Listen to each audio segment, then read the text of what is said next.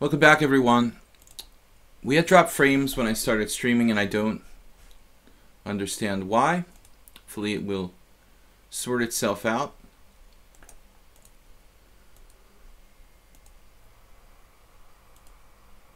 All right, we're editing the scene at the moment, and uh, hopefully, we'll be good to go.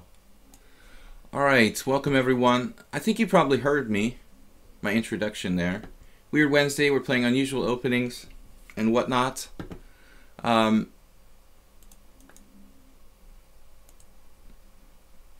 I was briefly talking about Wijk aan Zee. There was one decisive game yesterday, probably like one of the few days when there's only been one decisive game. Van Wely bites the dust against Carlsen. He's kind of a punching bag at this point. I don't think he'll be playing anymore in this event after this year. Where's our moderator? Mr. Yeroon probably be along shortly. So I decided to go with with the hippo. We're playing the hippo, and uh, this particular move order I mentioned several times. I don't know if it was a real game or what, but it actually g6 and bishop g7 actually goes back to uh, to the Italians' analysis Greco.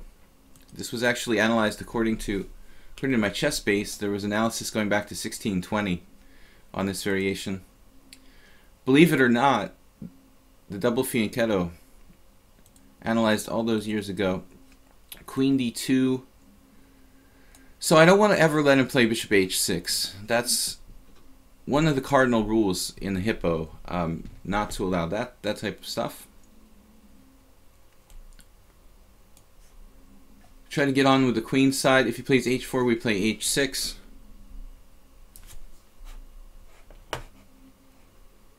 Keep my fingers crossed here that the stream will be good.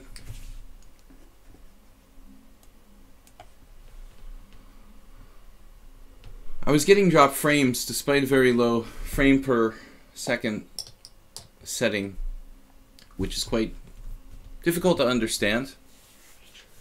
You guys can see the you guys can see the moves now.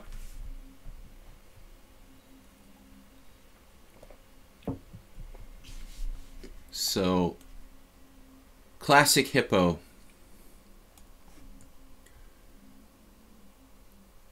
The hippo is very hard hard to play against. I actually I took out Alexander Onischuk once in a hippo.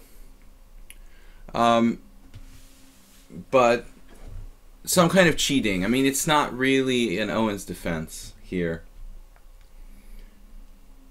It's more familiar to me. I get this a lot out of. I used to get this a lot out of the English defense. So the c4 or d4, e6, followed by b6, and then I'd later play g6. You can you can play g6 on move one.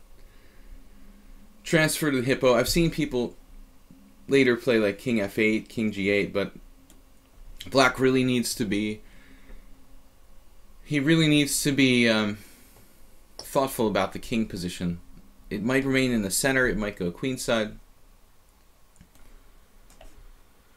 Lavalentula playing quickly h5 and knight h2. Looks like he wants to try to open the position over there.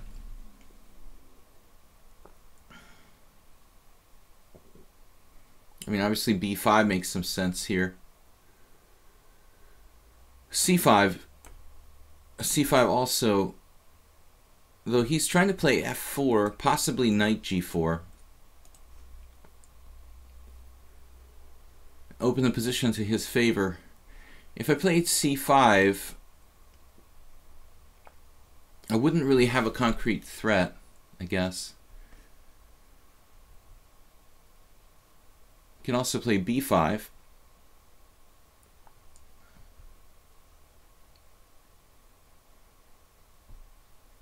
B5 followed by c5, b5, c5, take with a knight. Thing is, he's coming with f4. With f4 on horizon.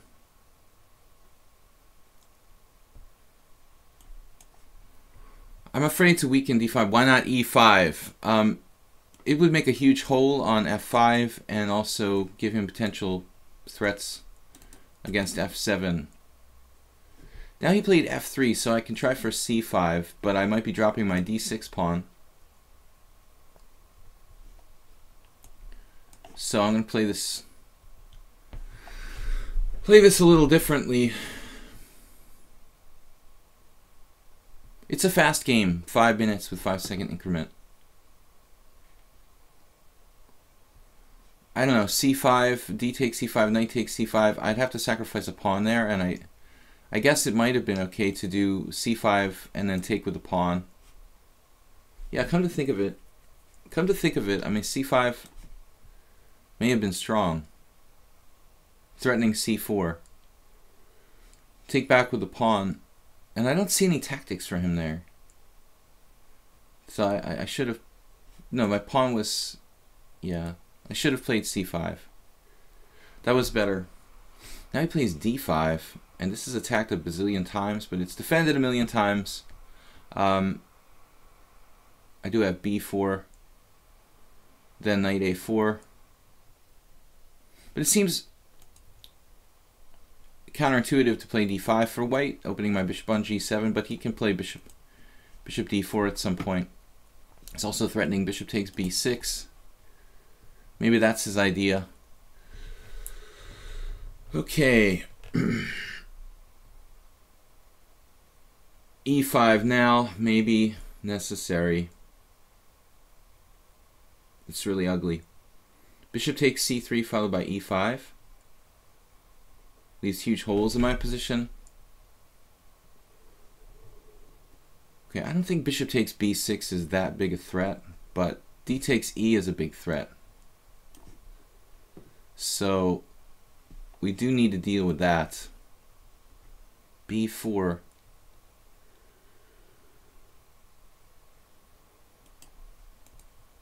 If only I'd had time to play queen d7 here.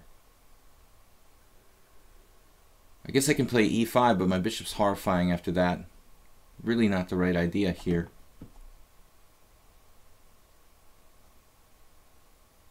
Take on d5.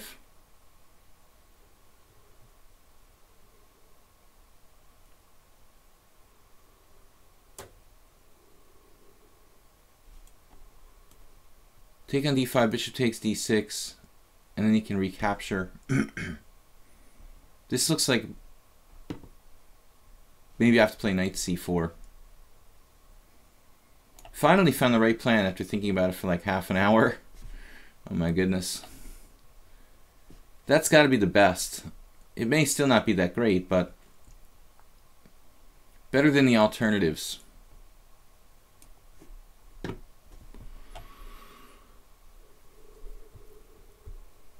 Oh no.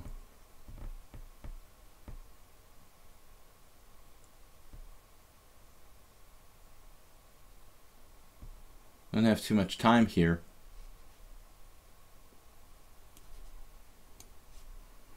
Position looks kind of dubious for black. What's this guy's rating like 1900? He's pretty strong for 1900. Most likely I'll be losing a pawn here at the very least.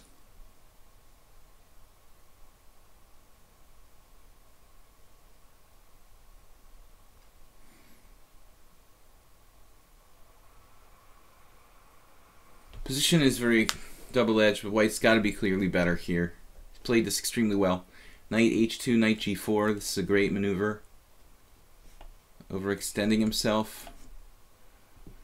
But I think this decision is is debatable for him to to go with the opposite colored bishops. The bishop on f6 though is gonna is gonna cause me some headaches.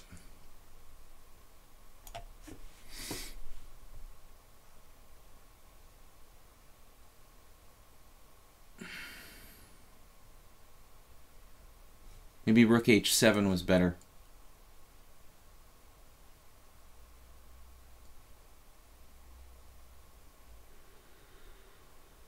Probably rook h7 was best. Now it's going to be kind of awkward.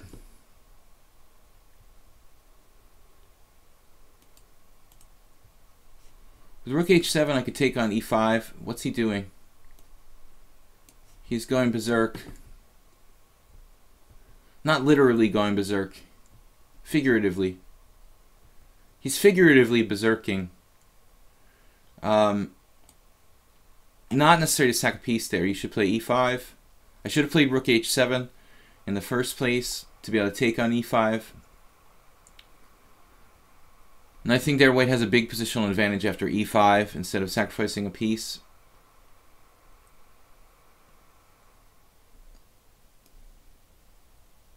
I definitely made the wrong rook move.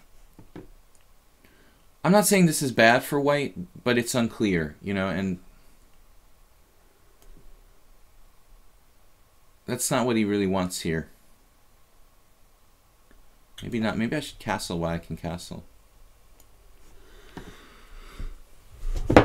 He does have three connected passed pawns, but hopefully my extra piece will be able to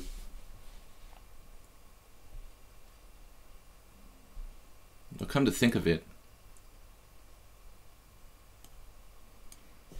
I can pick this pawn off.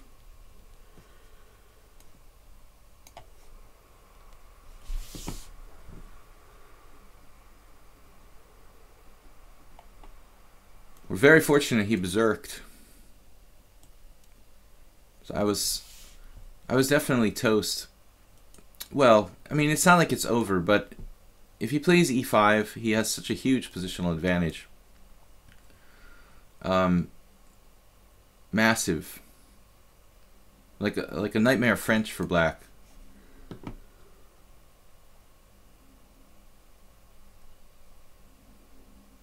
And there I thought g5, maybe.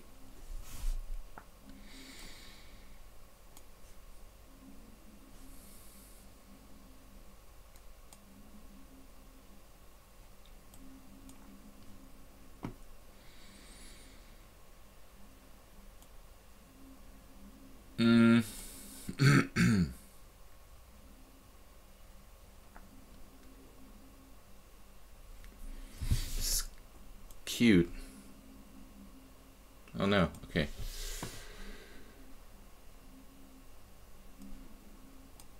Yeah, if he plays king d2, rook takes g5, followed by knight f3 check. Okay, Lavantula, sorry man, that was much, much better for white. Um, Suvik is white. How's the stream, guys? It's holding up. Yeah, e5 would have stopped f4, but my big mistake at the at the end there was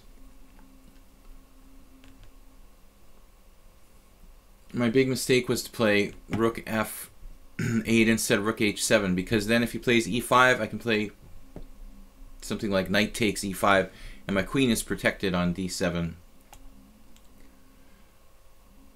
unusual opening. Stop myself here. Um, What if we play knight c6?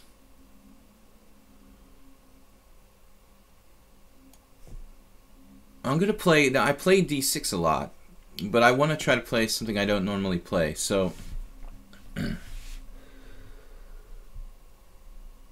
the Monkey Debo says the double fianchetto with two knights in the middle is the way to beat Stockfish by flagging in a 30 second bullet. Um, well, that's an old recipe. You know, it's the way to beat humans, too. um, kind of coughing. Um, had a long walk in the cold air yesterday. But um, it's like freezing brutally here for those of you who aren't in Europe. It's um, it's just a good way of flagging anybody, not just stockfish. But the uh, the thing is called a, it's called a hippopotamus if you want to give it a name. One of my favorite setups, by the way. Okay, d5 would lead to a to a very strange version of the center counter. So what can we do here? I should play the French, but that's not an unusual opening. I just never play the French, so for me it would be an unusual opening. What if we played f5 here? It's a little bit, I think this is just too crappy to like, consider it to be like a real opening. Um, Shirazi does that. That's a little bit too stupid. Let's play g6. Normally I would play d6. It's funny how many people play knight f3 rather than d4, which is clearly the critical move. Nimzovich. Yeah, a lot of people call it the Nimzovich. I think that's the established name. It doesn't really have uh, another name, I guess. So, anyway, welcome everybody. Hopefully the stream will, will be good. We were getting dropped frames when I started. I'm sorry the camera speed is so slow, but I don't think that watching me in motion is so important. Um, we're just lucky that the stream is working. So if the audio is good and the board is up to date, we're in good shape. Well, what's happening in Wijk aan Zee? So Magnus won against Loek Van Wely, kind of a foregone conclusion. I feel really bad for Van Wely. It's like, you know, when you get beat down that bad, you just kind of stop playing your best. Um, you know, he, he doesn't even know where he is. It's like a punch drunk boxer or something. Um, you lose all your self confidence. I mean, very, very quickly. So, this game against Carlsen yesterday, it wasn't really great. It looks like something Carlsen had kind of cooked up. Non threatening sort of variation, although it was a curious attack. That I kind of have to question, you know, like from Van Wely, I mean, is really allowing the Curies attack the best way to handle Magnus Carlsen? Um, just allowing it at all against anybody, is that really a good idea? So, I thought we had a game earlier, Subic, where you did something like Bishop b5, but maybe that was... I thought it was against you, but I'm not sure. In a similar position. Bishop b5. No? Wasn't that a game we had like last week where you did Bishop b5, doubled my pawns, and you had a good game?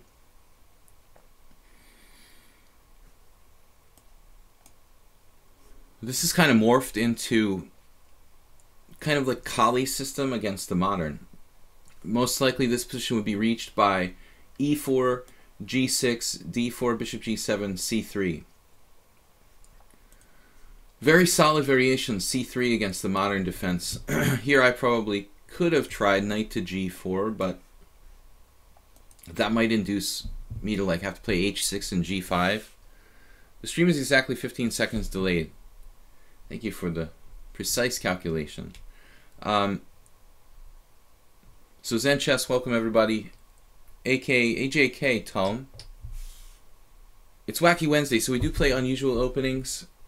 Um, first game I played the Owens defense, but turned it into a hippopotamus. And now in the second game, I uh, I started with the Nimzovich defense. But in both cases, um, we're not really in a pure sense of the opening that we, we started out to play. Um, so what else is up, guys? On Sundays, I do a simul here on Lichess every week, 20 players. Sometimes I do 25 players, but um, I'm going to be playing on Sundays, so usually I'm a little bit tired. Keep it down to 20. D5 from Suvik now. This is unusual. You don't normally want to do this because you're playing the King's Indian um, or King's Indian-like position with the pawn on C3. And I think that typically these pawns are kind of like out of sync for lack of a better way to put it. He might have to play c4 to support the center, then his knight is on the wrong square, or belongs on c3. So, although d5 is playable, you're giving up the um, you're giving up the um, tension rather early. Knight b8 is kind of passive here, although it's it's okay. Um, it's kind of a dilemma because on e7 the knight oftentimes has troubles getting into the center, but it is a King's Indian, essentially. Should be a fairly good King's Indian for black.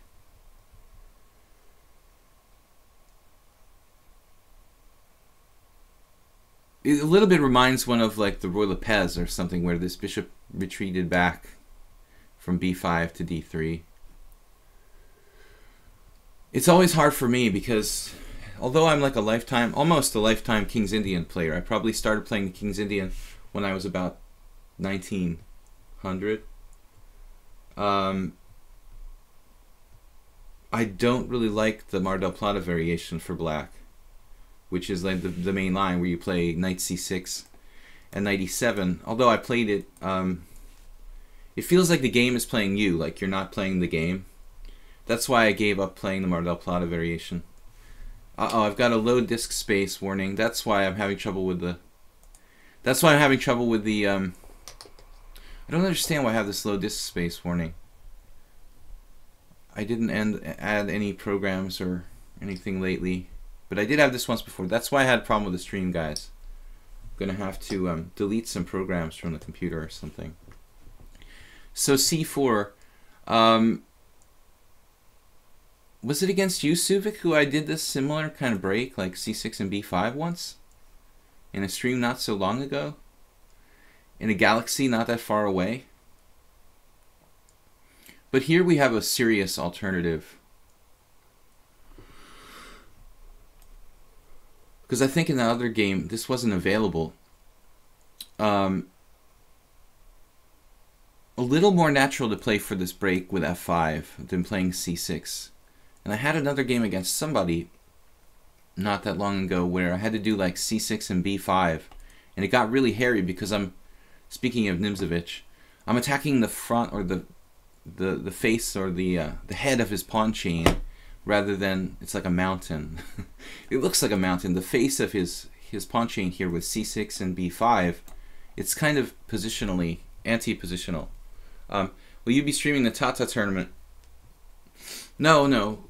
Um, I just commentate, you know, about what's what's happened there a little bit. So Queenie two yeah, I don't need to take this guy right away. I mean, I think that white should really play f bishop g5. Um, he ought to play bishop g5. Pres try to preserve that bishop, or at least make me pay some kind of toll for getting it. But it's not that bad. Um,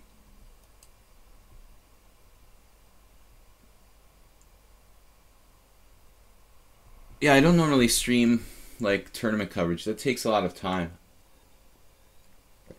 Back in the day, I used to work on ICC as a commentator, and um, this is like ten years ago. So we um, we did a lot of tournament coverage, but it takes like we would be doing it for like five or six hours. Um, that's a serious time commitment. Knight takes e3 yeah, that was one of the best tournaments of the year where we would do live coverage of Wijk aan Zee.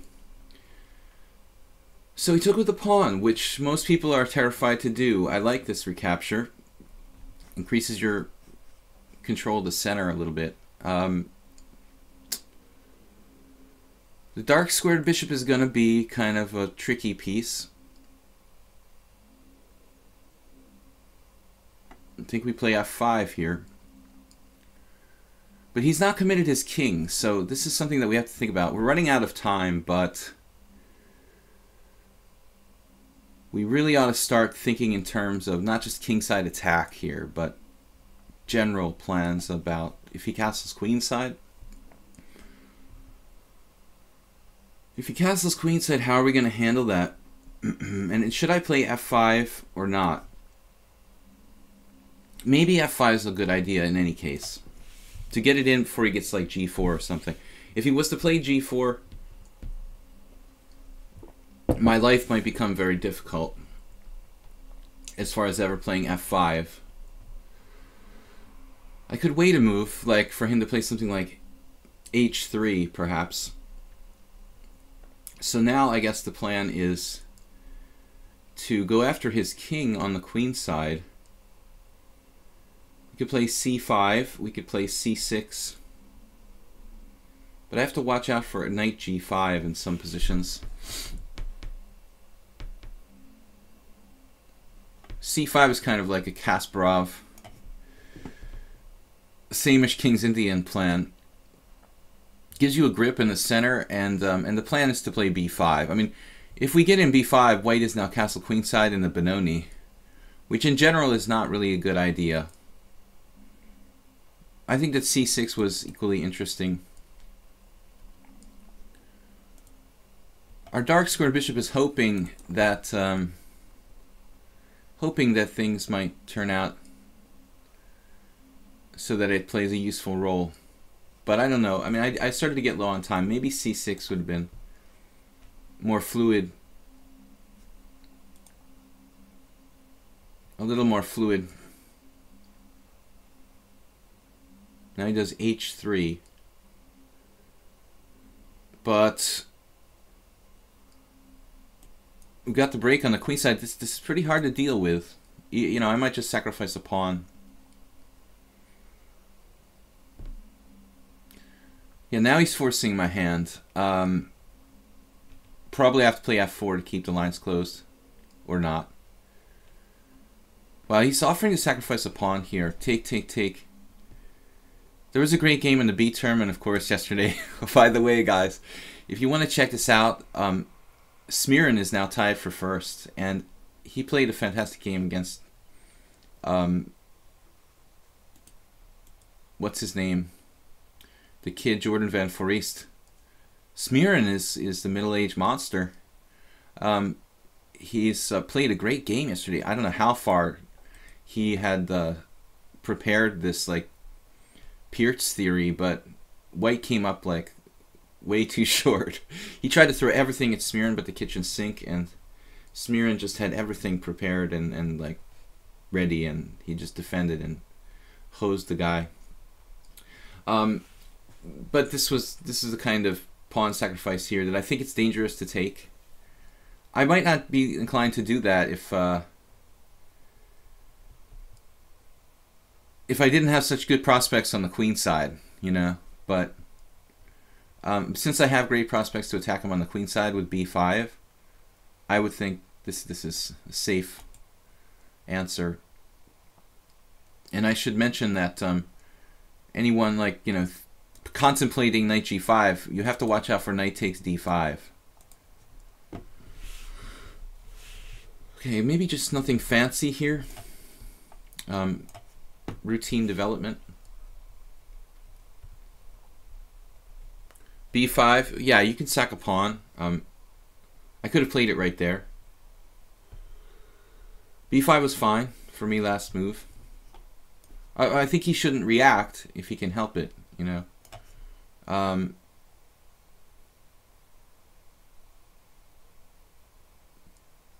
there are going to be some interesting tactical possibilities coming up.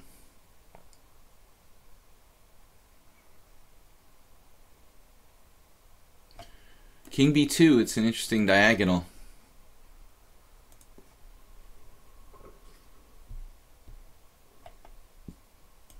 As we just go for it here.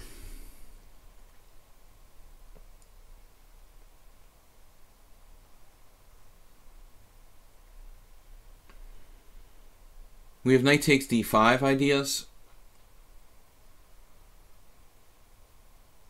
An a4, maybe.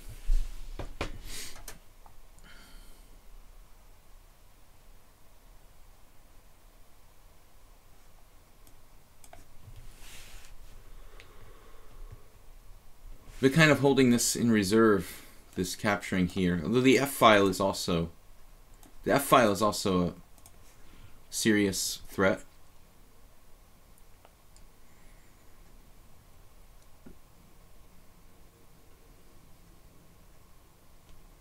It is hard to break through.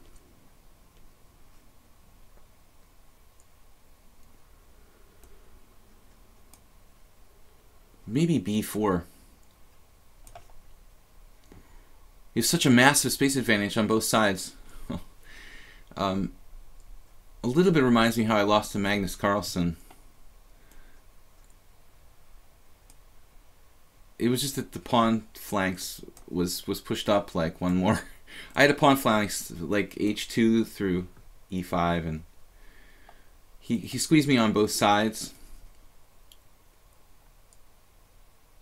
Pawn phalanx pawn phalanxes.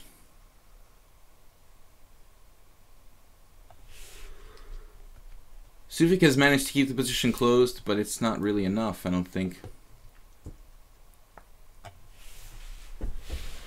Although I'd rather have the queen not in front front-loaded the front-loaded queen probably not ideal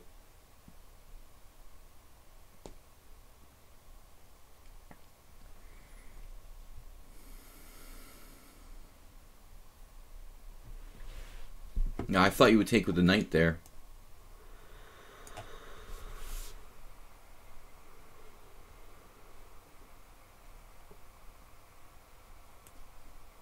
This may prove difficult.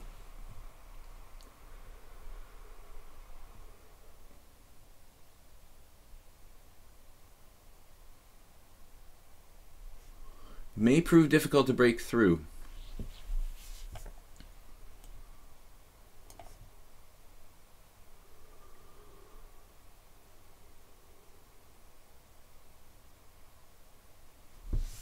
Extremely low on time. Where's constant change? Um, he's gonna kick me out.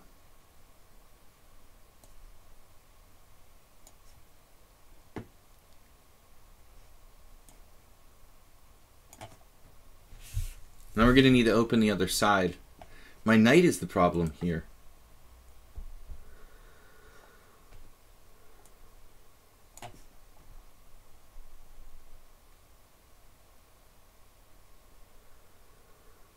Knight h4.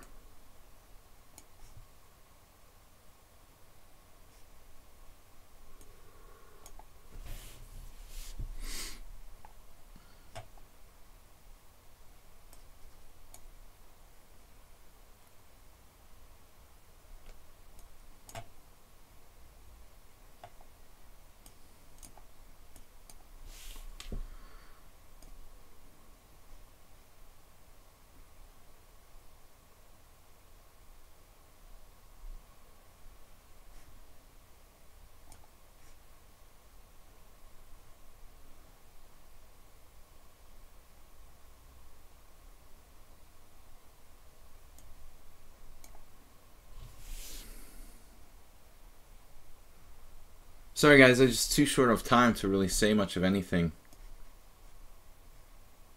I need to watch the uh, the H file and the F file. this is not so easy.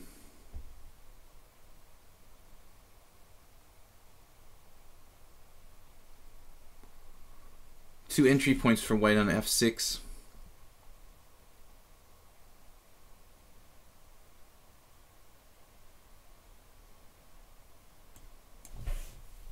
But I thought there he had a better plan.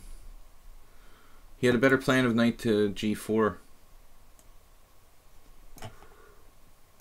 Alright, don't panic.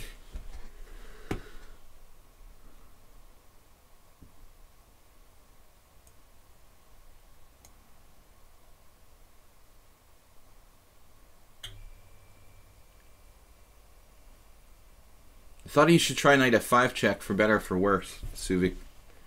Sacrifice a piece there to create some complications.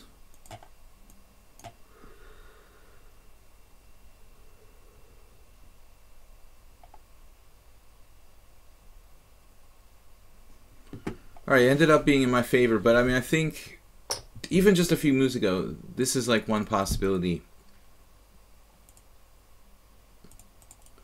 Here. You play knight f5 check. Knight f5 check, pawn takes pawn, pawn takes pawn, rook f8, f6. I have to sacrifice a piece back. Knight takes, pawn takes, rook takes. That's probably still winning for black, but it's it's very complicated. Um, Mule Skinner is up next. Kazim versus Naka, wonderful match. Was that? Oh, you guys are talking about what? A match. Oh, you're talking about this. Oh, this game. Um, well, you know, it was it was reasonable for a while, and then once Nakamura had a knight on c6, it looked pretty much over. Um, Mule Skinner, we've got to uh, play something unusual. I'm sorry I played c5 without thinking, guys. So here we can try something out of the ordinary against Mule Skinner. I forgot it was Weird Wednesday. I played c5. But we can revert to uh, an alternative type of setup. Let's play b6. You're talking about Kazim Gulamali versus Nakamura from the Gibraltar Gibraltar Chess Festival. I was disappointed because I wanted to play in Gibraltar, and I had a friend who was in Cuba, and he was supposed to contact me if um, if Stuart Conquest and the organizers had had an open place, and then he said he couldn't contact me for some reason, and, and we didn't get to play at the last minute. But I wanted to play in Gibraltar. Um, okay, knight f3. Mule Skinner is a player who really likes closed formations. He nearly beat me yesterday in the closed Sicilian, so we could play well, let's let's continue the theme here today. Hippopotamus against everything. Um, Dinara, or Dinura. I mean, I don't think there was any point where Nakamura didn't have that game under control, and it was kind of ugly at the end where Gulamali just lost the exchange for nothing. Um, I didn't analyze the game in great detail, honestly. I just thought, well, somewhat normal opening um, Nakamura played interestingly to allow black to exchange on c3, and then he took on double isolated pawns with white. But he's so dynamic that um, as soon as the position started to get sharp, black fell apart. Okay, so I think if I had played in, ironically, I was looking at the pairings, people. If I had played in, in um, Gibraltar, I would have made the cut by like one board. I probably would have played bottom board or something like that. I would have missed playing like the number one seed by. I, I would have missed Caruana by like, well, maybe my, by more than one though, because I think there's some kind of strange like accelerated pairings in place. Um, something weird like there was a 2330 on top board and a 2370 somewhere later. Um, but anyway, I wouldn't have gotten I wouldn't have gotten paired up like to one of the top players in the first round, which uh, which is fortunate. I would have liked that. So I would have been disappointed if I saw that I would have been paired with like Caruana in round one or something. Um, okay, here we try to keep a fluid position, but I, I'm not sure. Maybe I should just play knight c6 here, bear down on d4.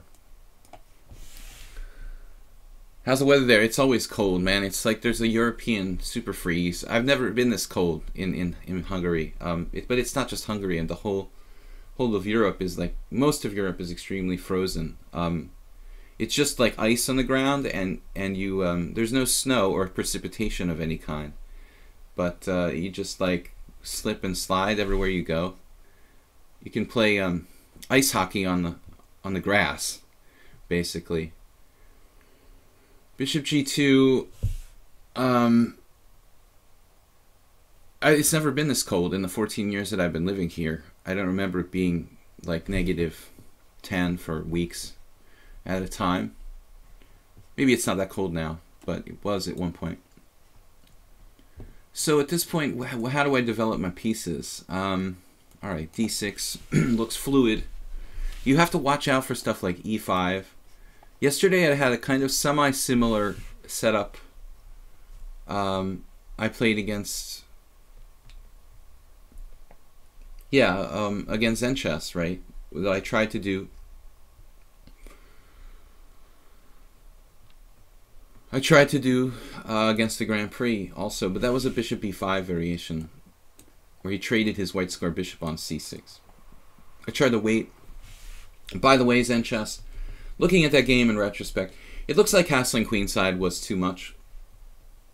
I should try to castle kingside. What I didn't realize was like I thought you had a strong attack immediately if I castle kingside, and uh, it was actually very okay for black, probably equal. Complicated though. You could try to sacrifice a pawn with f5, and things would have been sharp. Maybe another time.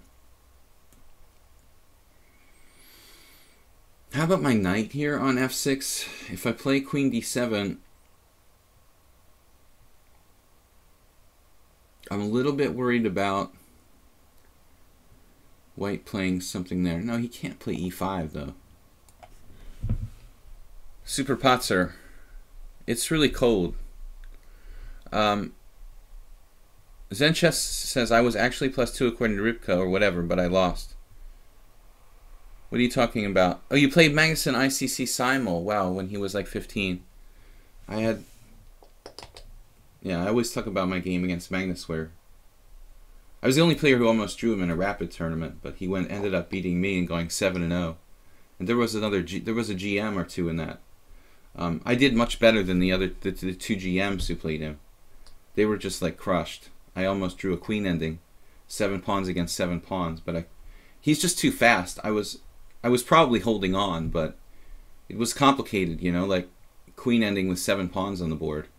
He had two like dual pawn breaks on both sides against my pawn phalanx and, and like I had like one minute against three so he just basically played too fast for me to to defend. Um,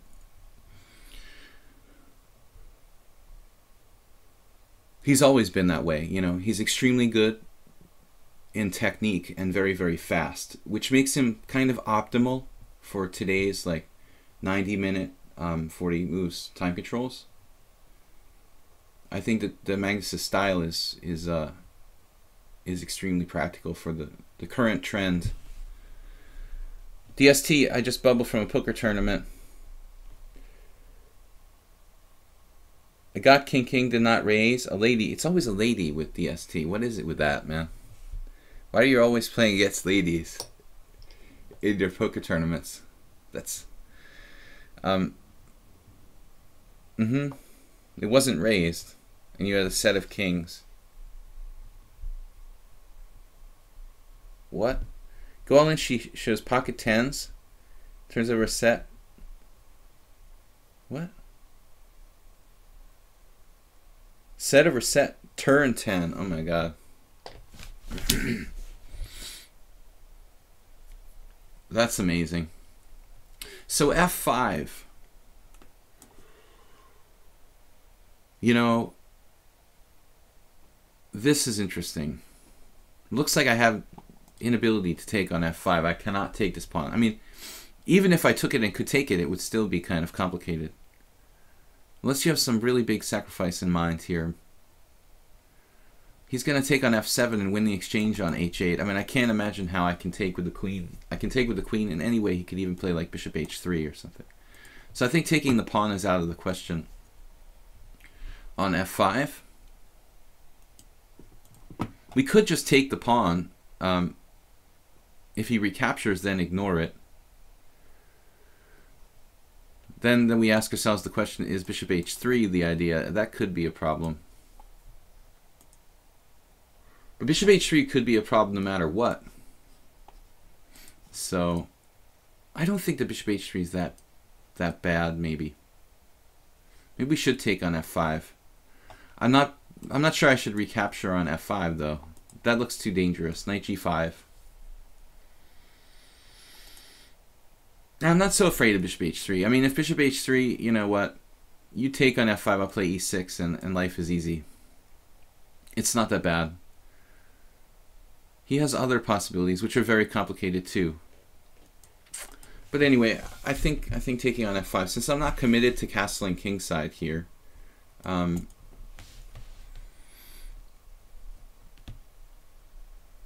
I'll explain why I decided to do this. It's like, if I don't, then bishop h3 looks like a really nasty problem. Here I don't mind it as much, because if you take... If you take on f5, I play e6. What about knight g5? Then I'm playing knight h6, right?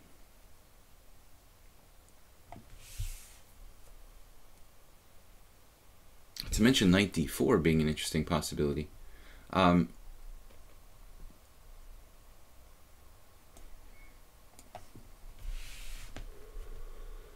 This doesn't develop any pieces, does it? That's the only thing I don't like about this possibility. Um, but nevertheless opens up my bishop on b7. It is kind of like developing a piece, right? It's it's a way of developing. Knight d5 doesn't threaten anything.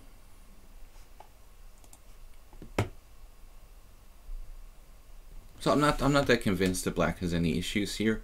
There is my king in the center. Um, sorry about that, DST. It seems like that happens a lot, doesn't it? The quads. But you're talking about a live poker tournament, I assumed. You're not talking about something online.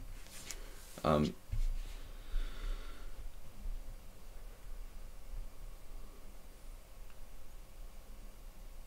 knight d4. And knight g5. Okay. Well, this knight is sort of like maybe coming to d5 or something. I can always kick it out. Actually, here he has queen h5.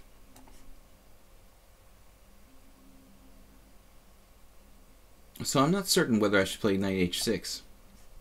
Maybe in retrospect, it's better to play knight f6. Strange as that might seem, but f7.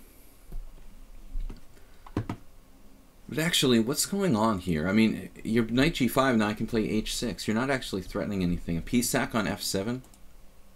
Are you going to sack a piece on f7 and, and play queen h5 check and checkmate me or something? Is that really for real? It's kind of hard to believe. Um, I don't see it. it. It does look a bit dangerous, but it seems like I have defense here. I, I don't know. I mean, I've just sticking a knight on f6 will stop all your threats on the f file. So I think this is kind of a bluff. Um,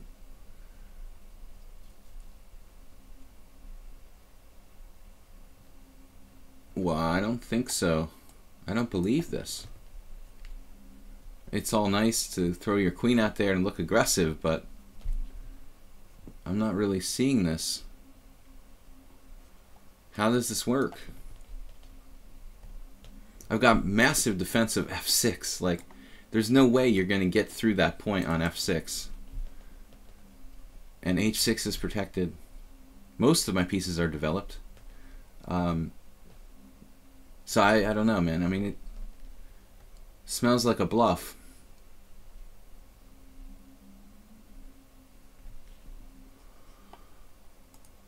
I can't fear the ghosts.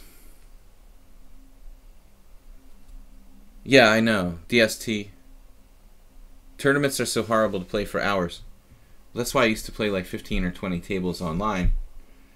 Now, yeah, I mean, of course it's horrible. I went to Prague, I played nine events, I cashed in four and won negative 2,000 euros.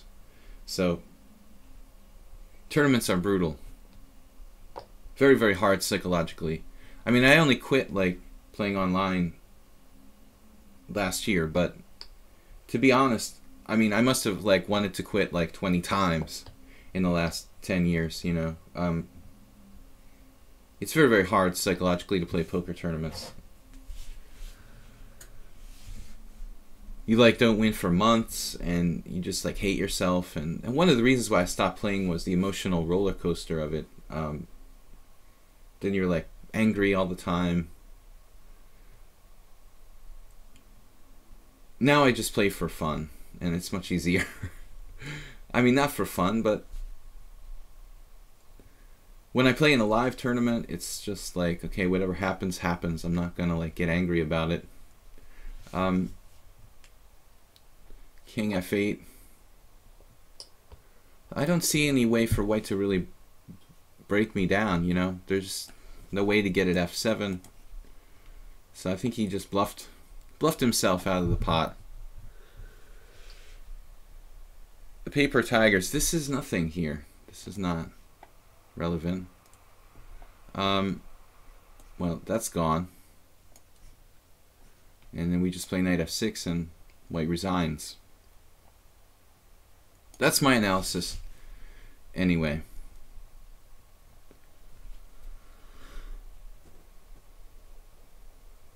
We might be able to manually castle queenside. Um,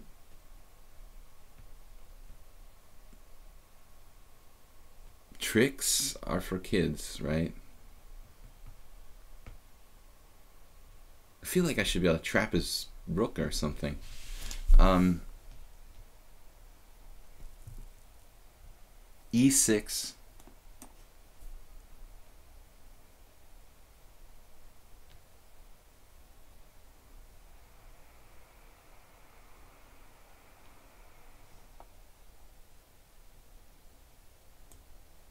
I don't see it.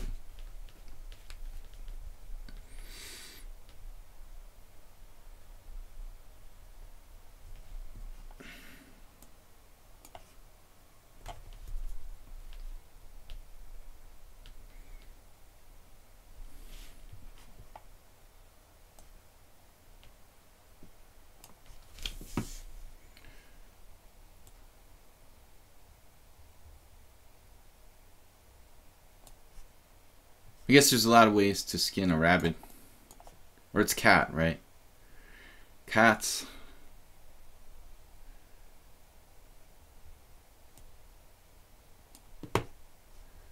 Skinning cats doesn't sound very appetizing.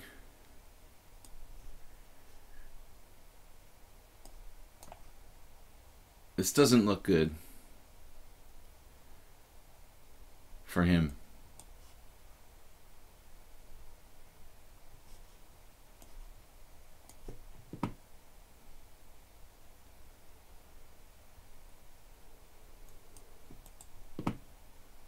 Running out of ammo. Okay. Hunt the King is up next. Guys, make sure you challenge me to something between 5 and 8 minutes with a small increment. It's Weird Wednesday, so I'm trying to play unusual openings. Constant Change busted out the 10-0 challenge. He hasn't been around for a while. He just corrected that. okay. 10-0 actually, I've been playing classical. I've been playing the classical tournaments here on Lichess. Um, all right, now against C4 back Hunt the King. Um, yeah, that's hard to play something unusual, but I had an idea about this. Oh, okay. Yeah, let's try something really stupid. C4 D5. Oh, he instantly took. He knows this. Let's see how he reacts. Ah. Knight F3. Yes. So far, so good, Hunt the King.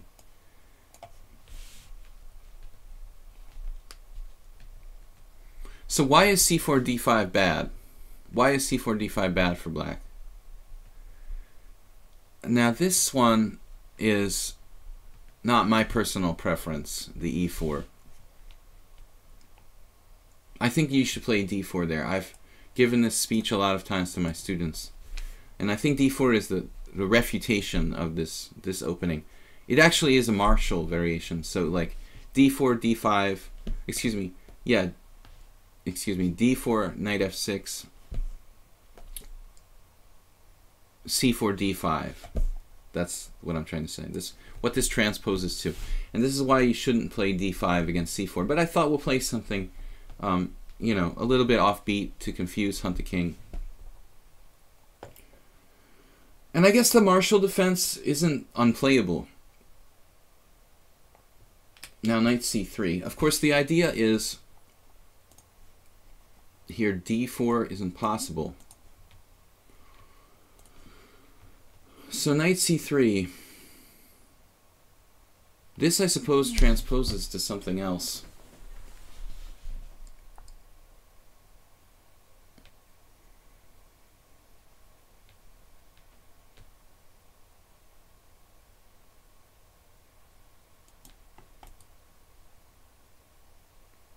I feel like I have to play c5, but it is it is slightly risky for black. But I don't know what else you can possibly play here.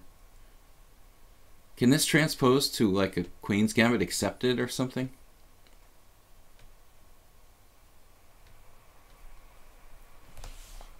Three e4 was possible. Of course, three e4 is possible. That's that's another interesting another interesting possibility. Right. It's good that you pointed that out this is a very important line. e4, knight takes e4, queen a4 check, winning a piece. So after e4, we play c6 here. And it seems like black gets some compensation there. But I'm not an expert. There should be some compensation. So this seems to be a transposition. Another interesting game yesterday from the Wijk aan Zee was looks like Aronian swallowed a Zoltan Ribli analysis or something. He played the uh, he he played the um, what's it called? Uh, I can't remember what it's called. It's a variation of the um, the Queen's Gambit Decline, Ragozin. My memory's failing, but Hungarian Grandmaster Zoltan Ribli, who's a former candidate, he's basically this opening that yesterday Aronian played with Black. Aronian, uh, Zoltan Ribli has like analyzed that out to like a draw in 37 moves, like 17 different variations. Um, what was it? So versus Aronian. What is it? Oh, the Vienna variation. That's it. The Vienna variation. Ironically, Zoltan Ribli is the trainer for the Austrian team. Maybe because he's an expert in the Vienna variation, I don't know. If that's the exact reason or not, but... Um, is e5? Am I supposed to play e5 here? I wish I, I wish I knew this. Um, I feel like I'm supposed to play e5. But then bishop b5 check or what? The problem is bishop b5 check, I guess, if I do that. Wish I knew the theory here. It does look like an open Sicilian. You're thinking of Aronian versus Giri. No, yesterday So versus Aronian. So played d4. I really like So playing e4. You know, I don't know. Everybody's got to kind of balance it out, you know, so you're not predictable. But Wesley's really good with e4. It, it seems to me, you know, he's an awesome e4 player. So playing the white side of the the Vienna was one of these like forced draws and 37 moves type of things. Aroni is still lurking there in the tournament. I mean, he could surge, but he'll probably end up like near the top rather than winning it. Um, I mean, a6 kind of has to be a good move here. e6. It does look like a Sicilian, doesn't it, guys? I could even play knight to c6, honestly. That's got to be slightly better for white, though. So he would lose his castling rights if he decides to play knight takes c6. Maybe not. Um, I don't know. e5, bishop e5 check is a problem. I think a6 is okay. Keeping him off of b5. Knights and bishops are not welcome on b5.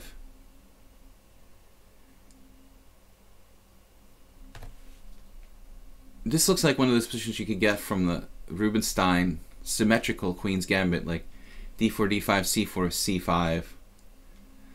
Um, also Queen's Gambit accepted. But Hunt the King, you should play d4 on move 4. That's the best. Not e4, but d4. When black can choose between bishop f5 and maybe g6, maybe some experimental move like c5. I don't know if black can equalize. I am Destroyer, just to say hello. I had some work to do. No chess today. Sorry to hear that. Hello. Bishop f4. That looks unnatural to me. This is a strange square for the bishop. It could get hit by e5. Could play a pawn sacrifice straight away with e5, but I doubt that's sound. Just to develop quickly. Um, I'm just kidding. Bishop on f4 looks weird. But I do need to develop my pieces here. Possibly he's threatening some sort of e5, e6 type of sacrifice. If I did like knight bd7, I would be concerned about that. Like e5, e6. Yuck. So I guess I have to play e6. For lack of a better move. But I, ultimately, this square here looks strange somehow. Bishop would normally go to maybe e3 or even maybe g5. g5. That's what reminded me of, of the So Aronian game. Um, this structure not that far from, from, from that Vienna variation, so... But Hunt the King let me get away with murder in the opening. After c4, d5, you're not supposed to get an equal position for black. So, I thought this would be funny to try. It's something I always wanted to do with black, but I know it's not sound.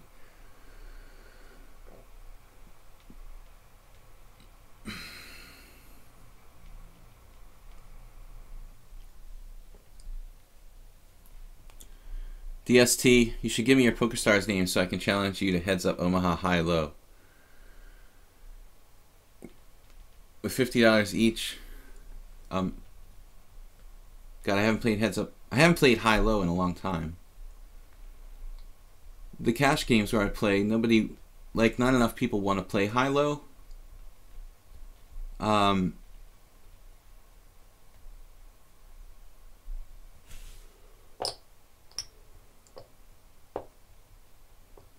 You don't know my PokerStars name?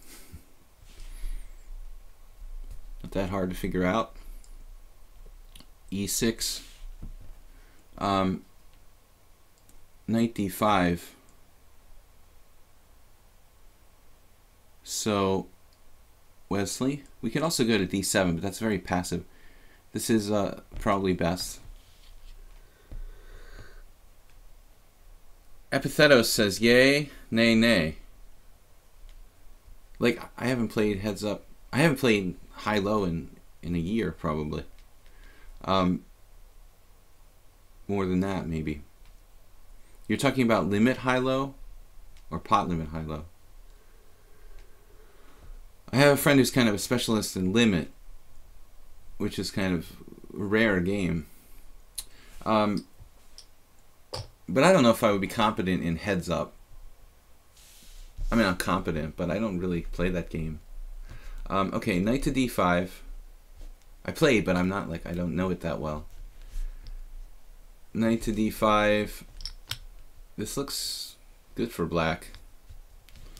e5 pawn is a bit overextended. Now he's wasting time. The e5 pawn.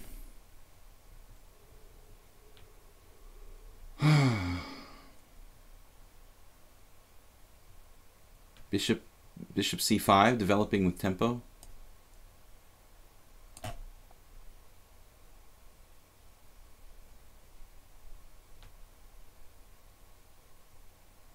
Choosing my moves at random. No, just kidding. Um, much more active than, say, going to like e7. Black does need to get developed here. f2 could be a weakness. But 94 is the answer. So, Wesley, we have a problem.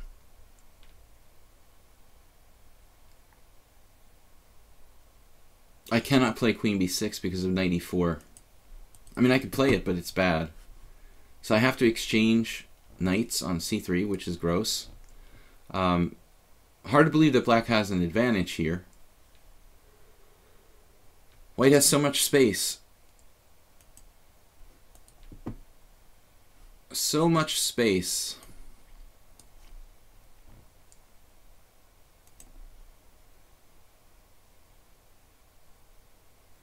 Now he could get really aggressive like queen a4 check, losing a tempo to place his queen along the fourth rank on h4, but that's probably too dangerous.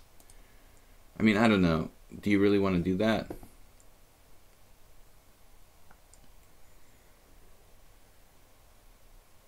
White's better off playing a normal, probably better off playing a normal developing move.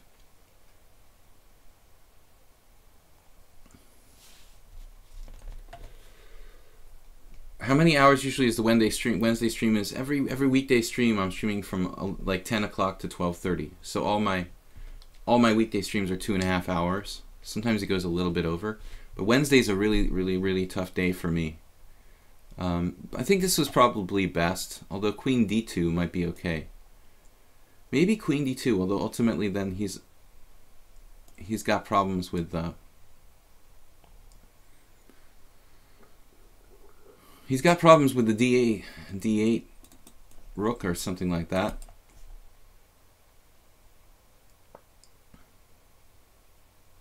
Well, for better or for worse, we're going to get one of your bishops, and white ends up a little bit overextended. And that's why really he belonged on e2, but he couldn't block his he couldn't afford to block his bishop on f1. That's what I was exploiting there.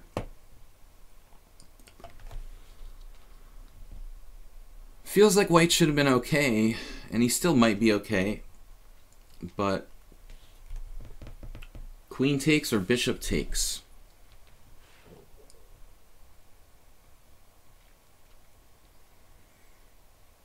I'm not sure it really makes a whole lot of difference.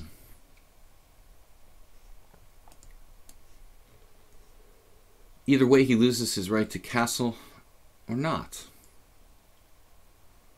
I didn't think he could do this.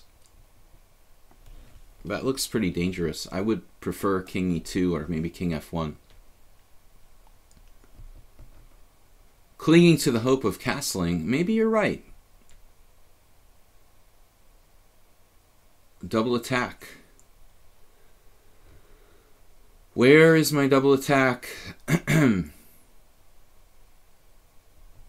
didn't think he'd get away with this. Queen a5 looks really, really difficult for white.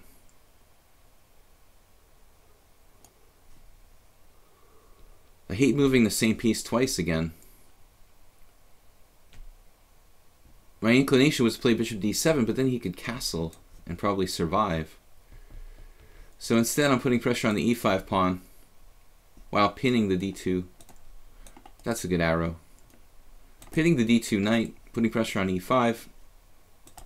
You're not threatening anything. Just wanted to let you know. Um, well, we're just winning a pawn. That's probably good enough.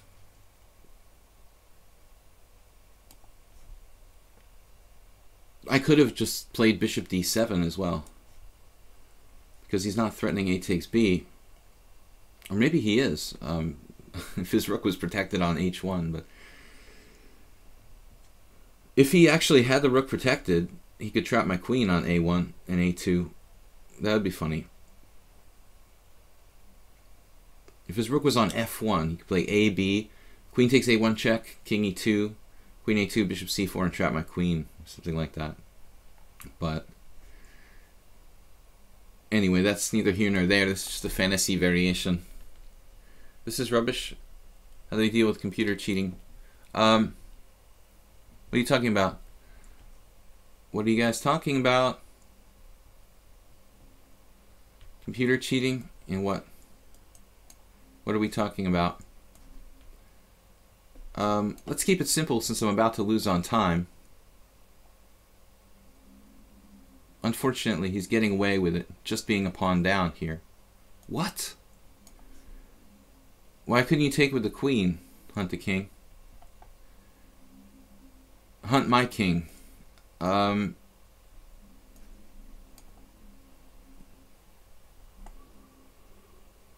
Why did you take with the king there? The burning questions. Now you're going to be sorry for that.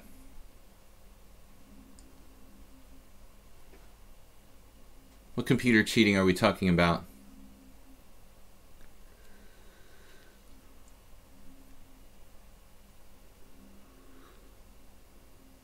I'll have to get back to the chat room in a second, guys. I've got 11 seconds left. So this looks like it's over. Hunt the King did a strange thing. He took with the king on d2. I don't understand. You're getting away there. You're just a pawn down, but pretty good drawing chances with this pawn distribution, just down four against three on the king side. Um, I would imagine like even between like top grandmasters, black would draw a fair share of those games a pawn down, three against four on the king side, two pawns each on the queen side. Um,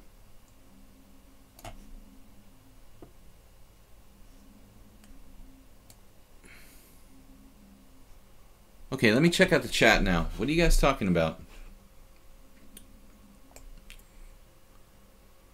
You could also stream poker. What?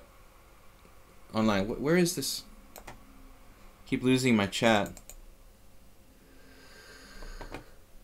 It's very difficult to make money on that site unless you're tilted.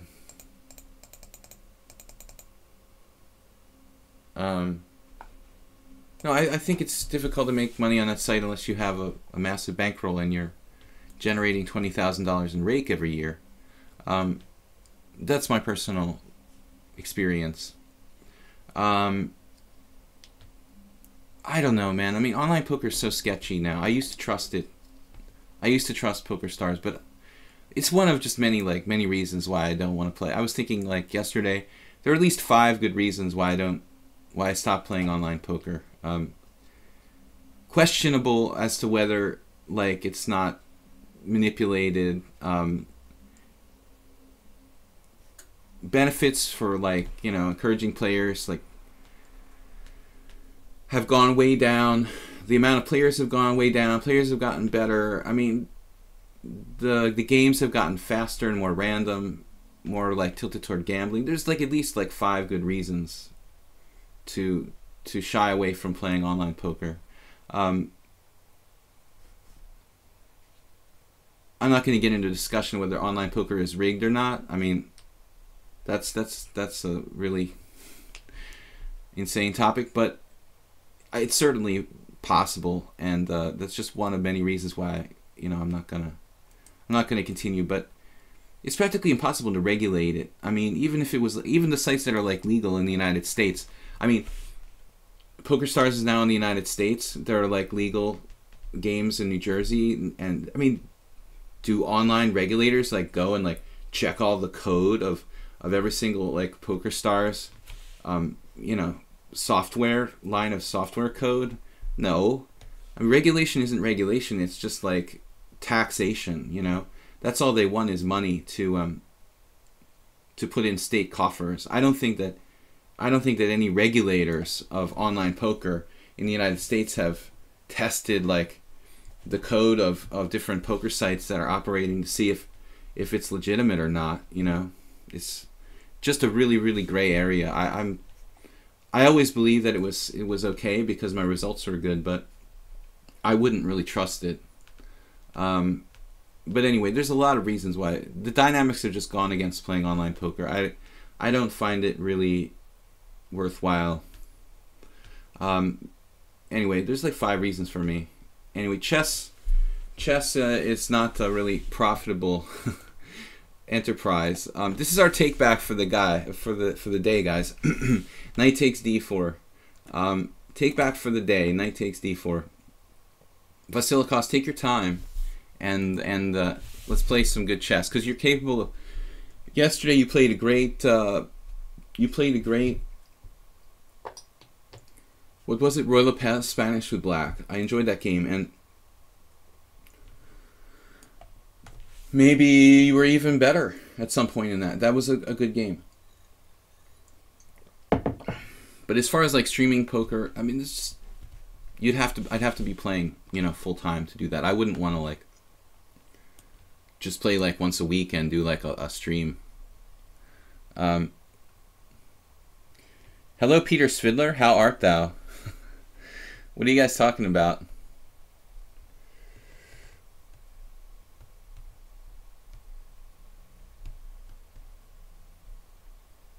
I think I missed a lot of chat.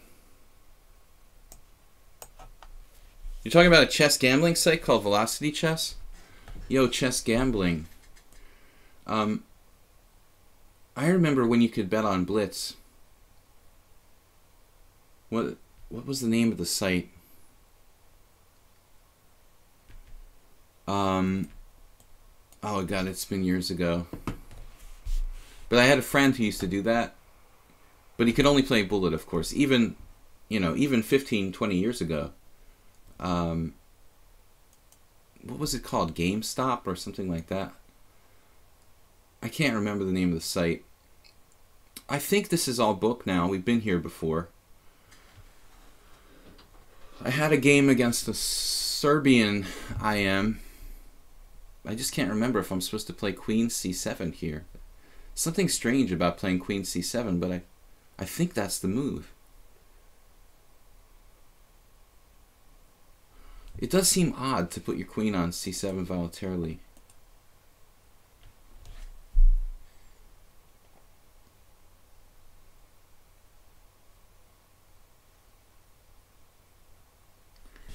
Stupovsky, that was the guy's name. I had this Zdenko Stupovsky. Had a game against him in the first Saturday GM tournament um, back 10 years ago. Maybe a little bit, yeah, around 10 years ago. I'm just trying to remember why is Queen C7 like the main line here for black?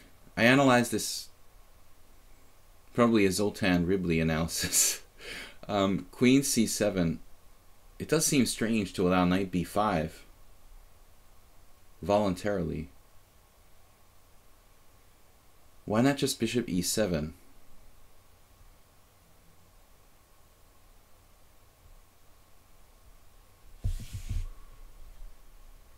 No, it's it's not queen c7. I've made this mistake before. You know, I think I did this in a game here on Lichess. I had the same hallucination that I'm supposed to play queen c7, but I'm just misremembering the variation. Of course it doesn't make sense to play queen c7 in this position. Because if queen c7, he's playing knight b5 with tempo, and then I'm playing queen b8, and then he's playing like bishop f4, and then I have to play like knight e5.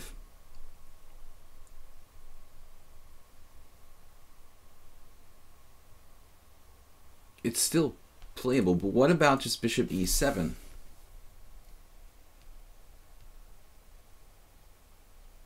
It makes more sense to just play bishop e7. Why should I play queen c7 and give him a tempo?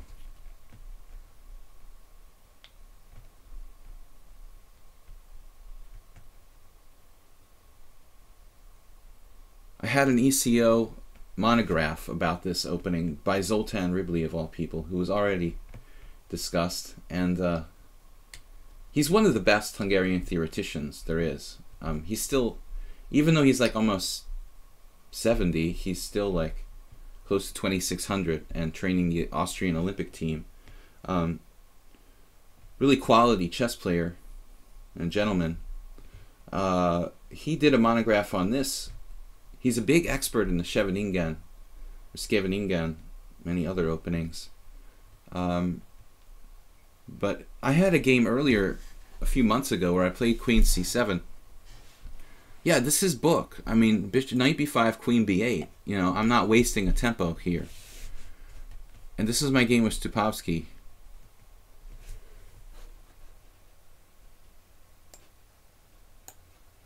New messages below. Yeah, DST's constantly talking about playing live poker. He lives in Australia, and I guess he has some kind of like casino nearby where he goes to. Um,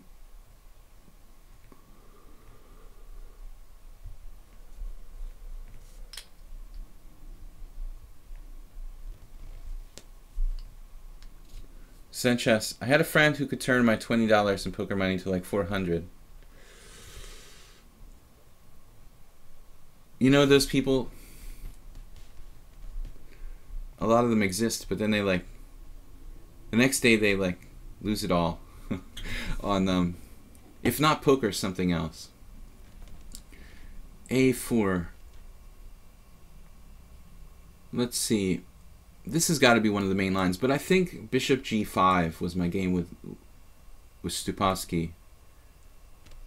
Bishop g5, a6, bishop takes f6, g takes f6. In this case, he can't force me to have like a an isolated doubled pawn here, or rather doubled pawns on f6, and bishop g5 is the sharpest move. Bishop f4 is a move as well, forcing black to play knight e5, but I don't see that being as good as bishop g5. I'm pretty sure this is um, the key line. Unlike Stupovsky, Vasilikos didn't force me to have double pawns here.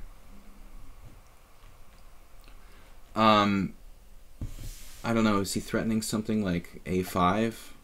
No. Knight c4. Knight c4 is a problem.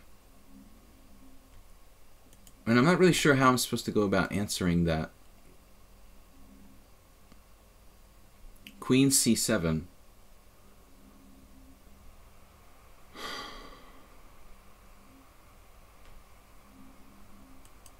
If castle's knight c4, we could play... Yeah, this knight c4 is going to come in and it's going to be an issue. So I think I have to take care of that now. Um, possible that this is this is still some sort of weird book. Though a4 is is definitely not as sharp as bishop g5. The two main moves that were discussed by Ribli were bishop f4 and bishop g5. This, this seems reasonable for white, though, to play a4.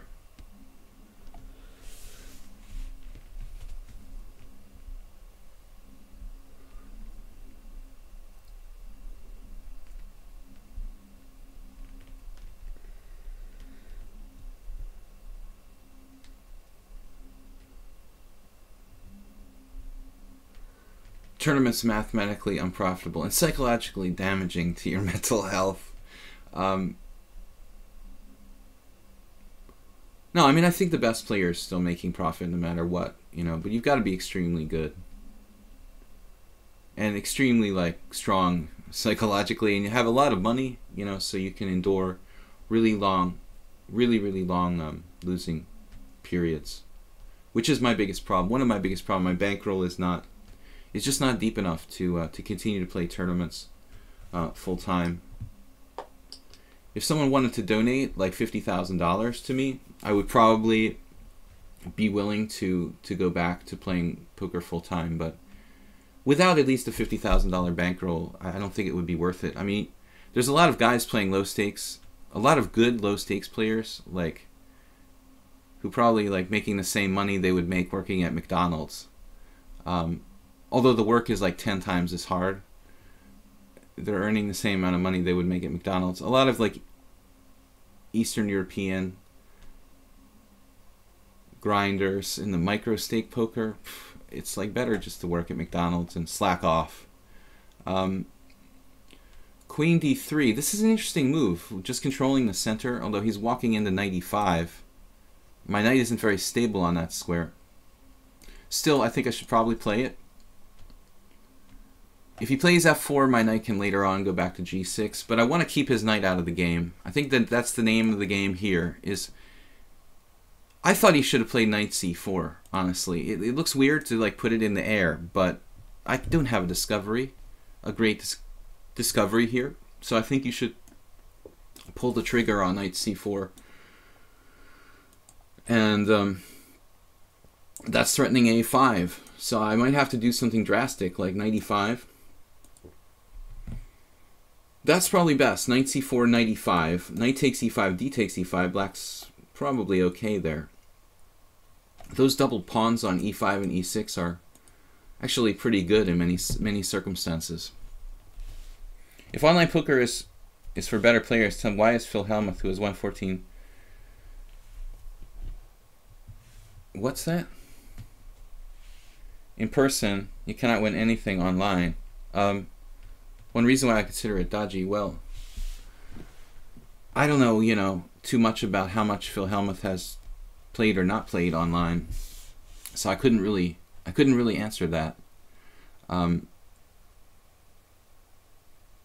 but Phil Hellmuth's reputation with online poker kind of took a hit, you know, when Ultimate Bet was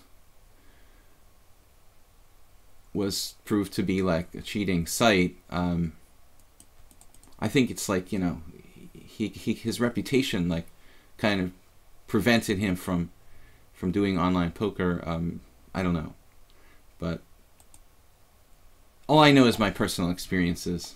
I'm not I'm not a fan of online poker at the moment. Um, I don't trust it. Queen e2, yes. Threatening f4. Um, Vasilikos, after hanging a piece there in the beginning, you're you're coming back. Um, so G, this this f4 idea. Try not to stutter too much. We could play bishop c6 and then f4, knight g4. Bishop c6 seems odd as well.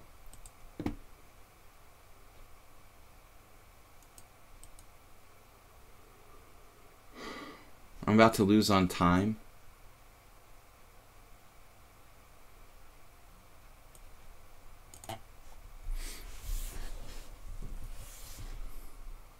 He's got three minutes more than me. No brain, no pain, that's what I say.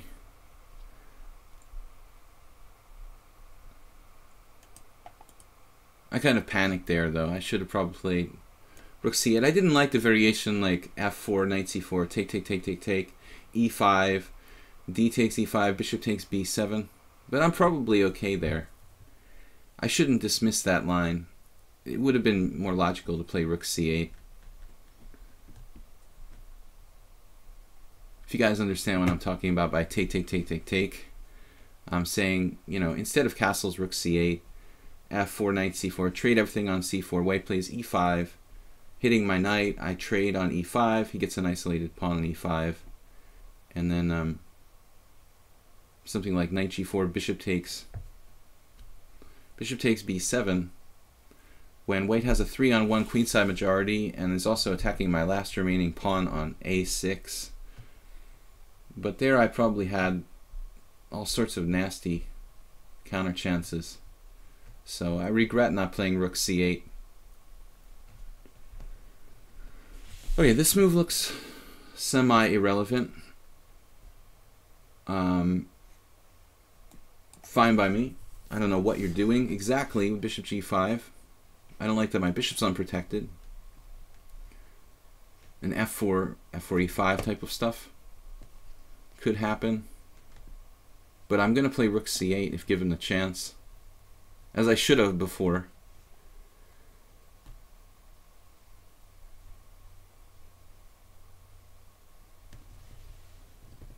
Rook c8 looked really good.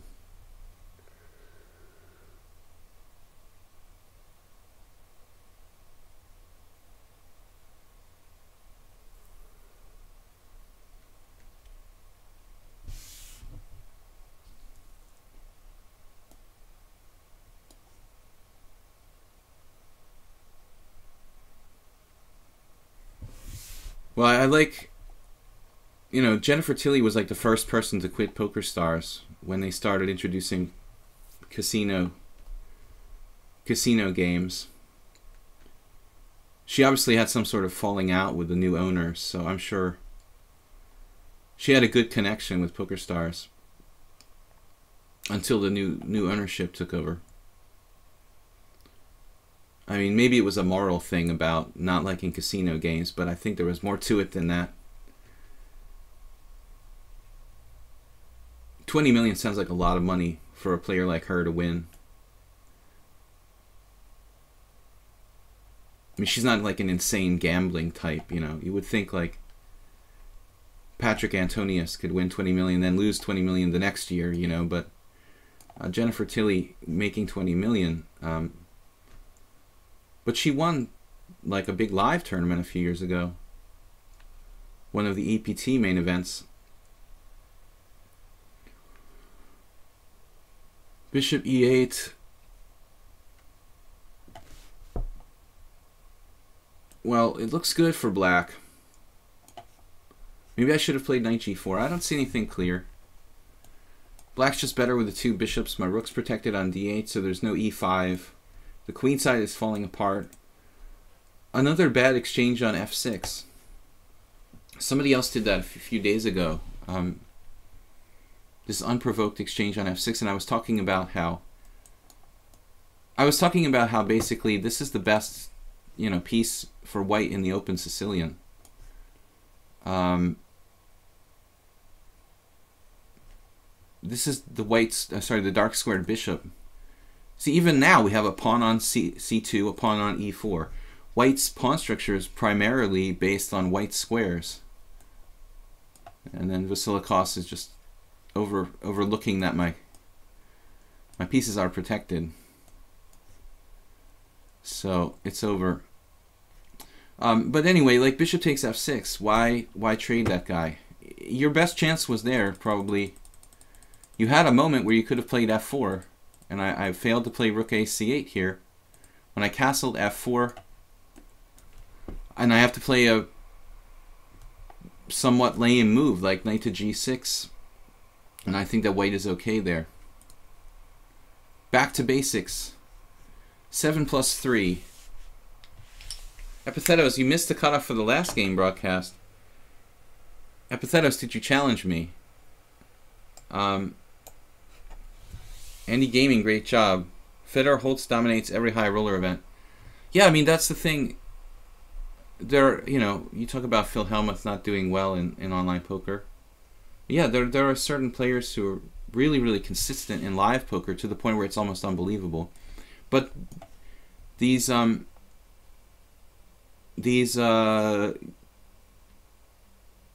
these tournaments with the high rollers are small fields, you know, so um that's been recently. I mean, I don't think that people can have a lucky a lucky year or lucky two years, you know. You're not talking about that many events, but it is hard to believe how the same players um, you know, consistently do so well in those high rollers. But people, you know, I mean, people are afraid. You know, it's a big buy-in. I mean, half the field is like massively rolled pro pros, and then half of them is like people who satellited in, or they're just like rich amateurs. But they still, even the rich amateurs, don't really want to lose like fifty thousand. So they um, they basically play probably too tight and let these players like who are really aggressive push them push them too far too much and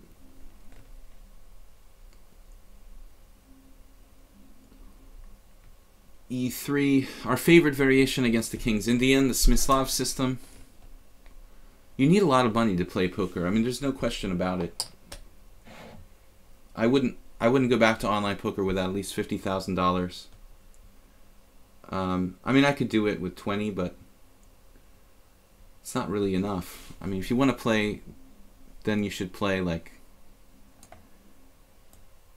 the highest buy-ins possible.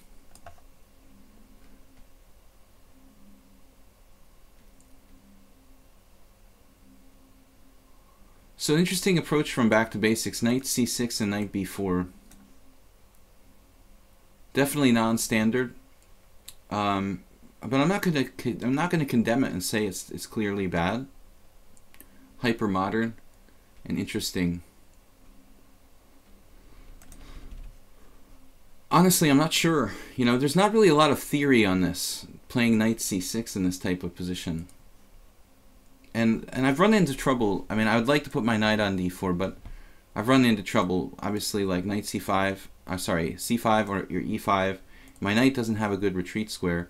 Um, a3 is a lazy move that probably forces him to go back to where you know he's actually better off. So knight d2, shoring up e4, preventing bishop f5, and now black played a5.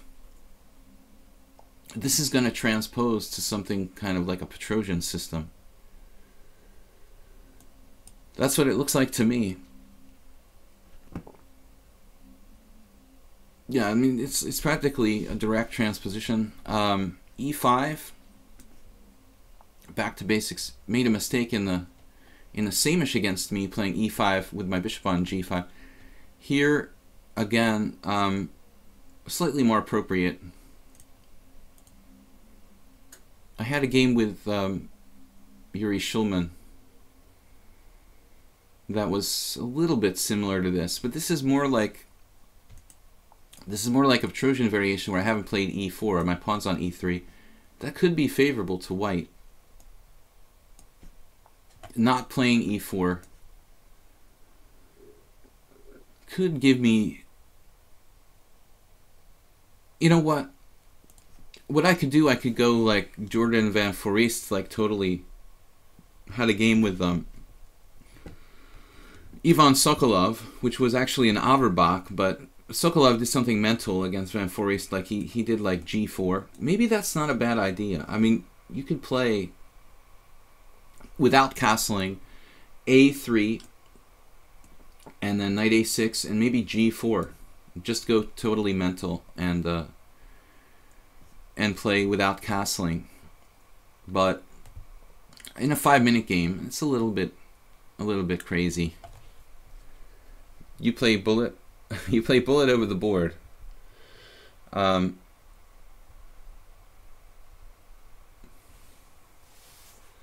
Andy Gaming, great job. You certainly don't need five, 50,000 to play online. I can play online with $100, man, but I'm talking about playing every single, like, you know, buy-in as a full-time professional. So I would play every single 200, every single 100, every single 500. Um, you need at least $50,000 if you're playing $500 buy-ins. You need at least $50,000. I'm not talking about playing $5 tournaments and $10 tournaments. I'm talking about playing like the highest stakes possible tournaments online, you know, and if you did that, if you're playing $500 buy-ins every week, you need to have at least $50,000. I'm not talking about, you know, working at McDonald's and playing 5 or $10 tournaments.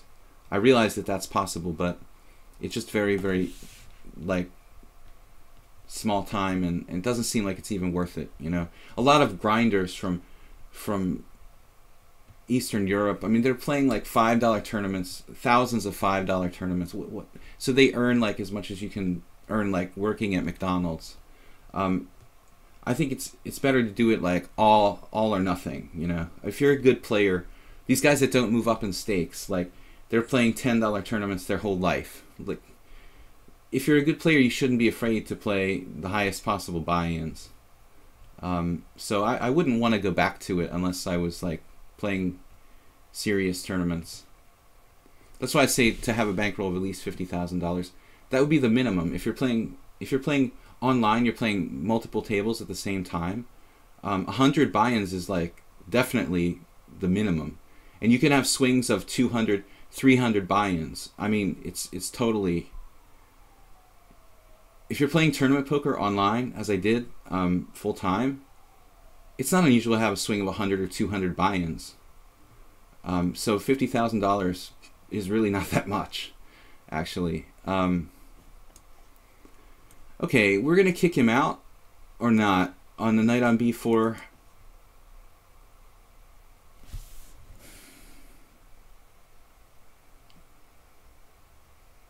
If we play e4, we transpose directly to a Petrosian variation where the knight is on b4. And we gain a tempo with a3. We probably end up directly in Petrosian variation. Um, a3, knight a6, e4. And then a4 is not possible. I think this is a direct transposition. Not necessarily what I wanted to do, but I'm getting low on time.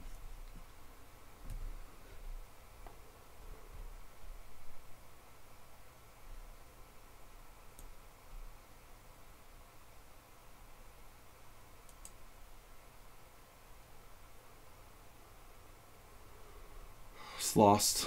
Lost on the lost on the ears. Um,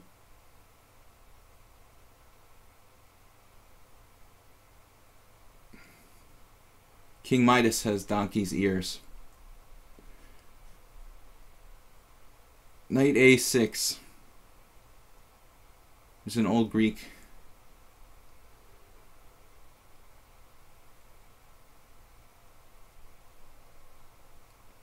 The old Greek folk tale about King Midas.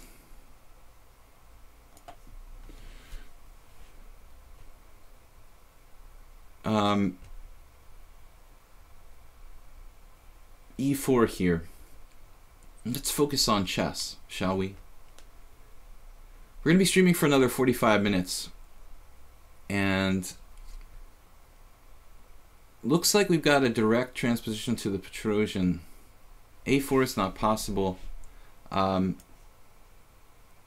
so the standard plan here for black is h5 with the idea of queen e8 and knight h7.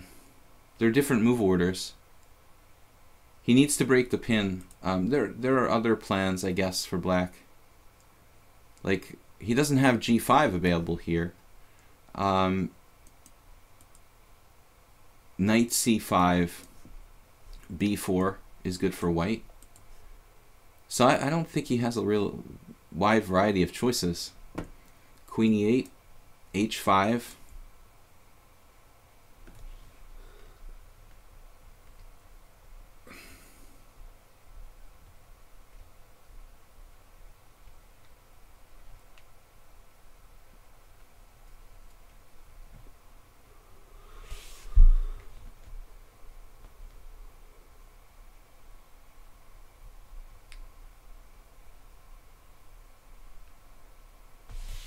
Queen e8 now, threatening a4.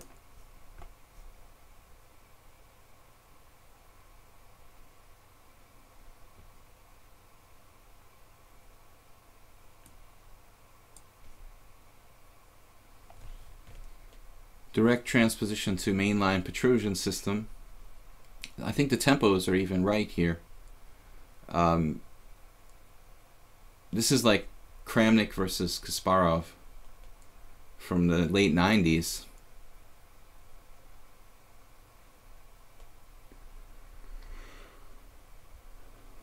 What do you prefer against d4 as black? Do you prefer...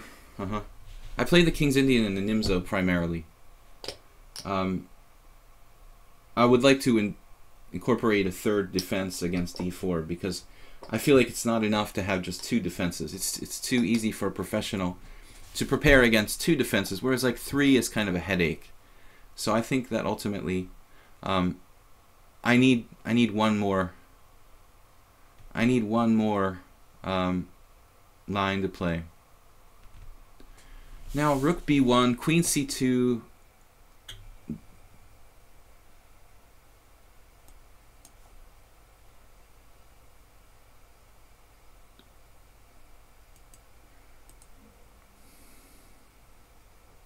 Maybe I'm supposed to play queen c2 instead. I hope my tempos are right here because if if I'm like a tempo down, I could I could be in trouble. Well, it depends on what he does actually. Um maybe queen c2. So f5 I think that the main line is actually h5 here. So f5 is f5 is different. I'm not sure I like f5 as much. It's not a classical King's Indian. Yeah, I don't know. I mean, I guess this is a line too. But I prefer h5. He's like pretending it's the classical King's Indian, but it's not. Definitely not. Um, he doesn't have the, the same power of attack that he would have in, in a classical King's Indian. It looks like he's already folding up his tent on the queen side.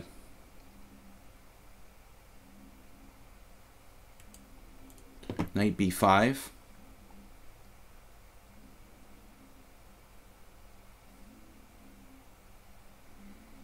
I can also play c5 as a sort of pawn sacrifice. Certainly reasonable. I'm running out of time. Feels weird to play c5 right away, though.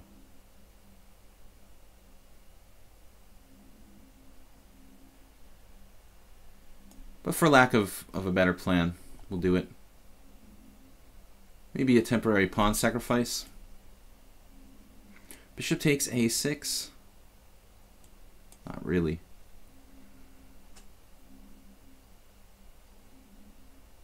I don't think this double pawn should matter very much, should it? The fact that he's up a double pawn. Always has more time than me. Um, like most of you. But I don't think the standard attack on the king side here is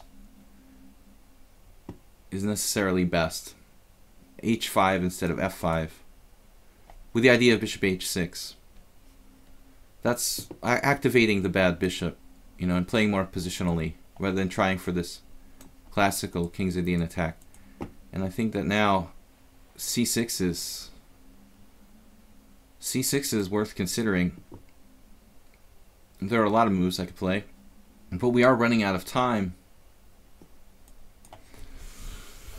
All right. Um,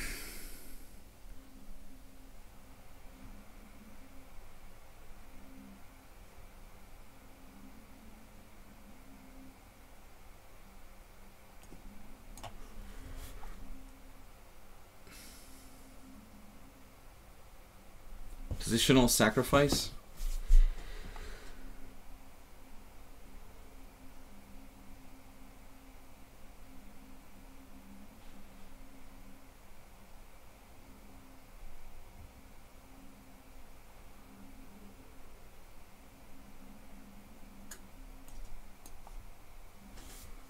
He's trying to play like it's a classical King's Indian.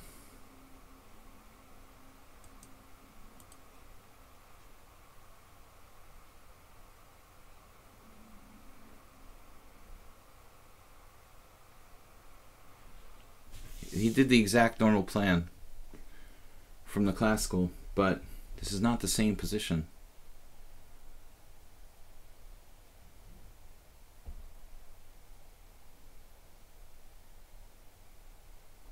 Whoa.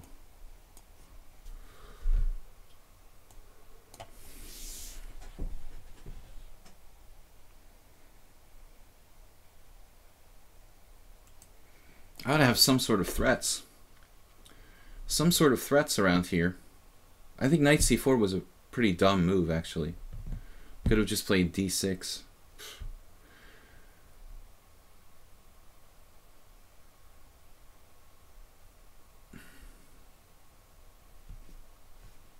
Because it's still in the air.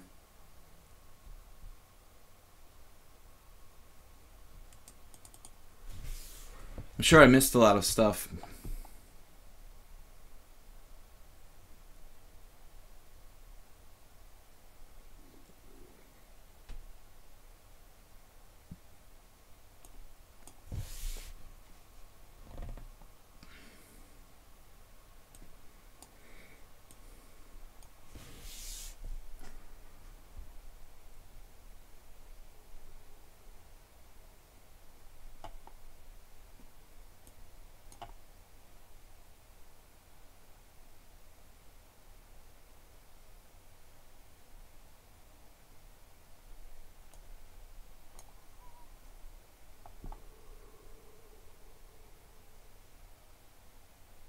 This was probably a bad move by me.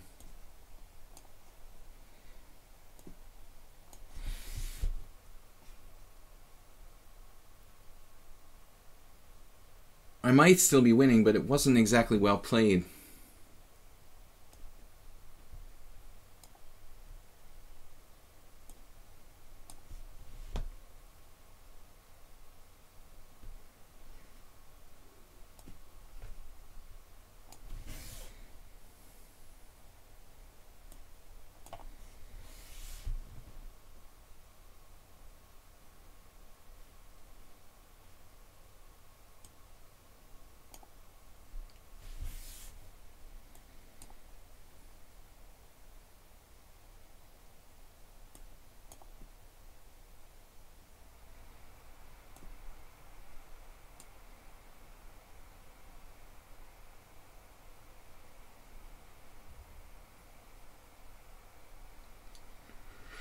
Checkmated his rook at the end, but was very badly played by both sides, probably in the time pressure.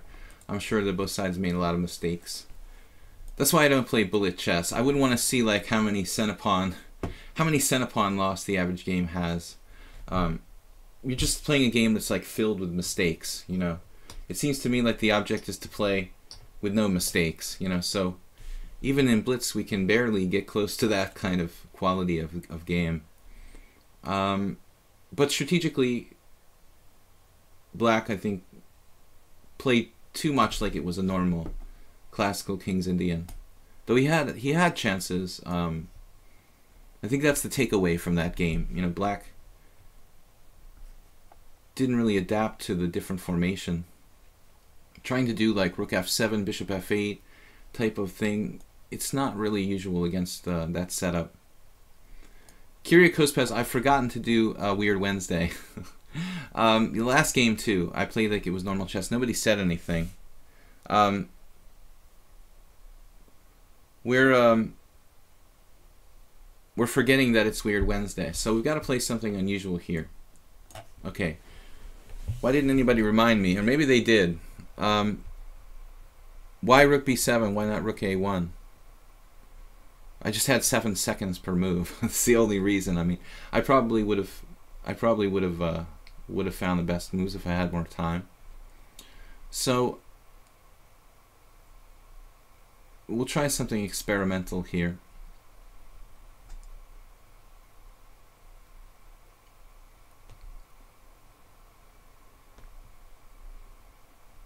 That's why I call it Weird Wednesday. I'm supposed to be playing unusual openings, but last game I forgot. Um, anyway, it was a good game. So there, I mean, the big question is should black play knight e4 here? Obviously. Knight e4, and um, in that case I play bishop b2. Knight takes c3, bishop takes c3, bishop takes c3, d takes c. Would white's bizarre pawn formation you know, be compensated by the fact that Black's traded off his fianchetto bishop and stuff. Kind of a tough call. Anyway, back to the game. This double fianchetto, which is one thing I would consider, is kind of a popular system.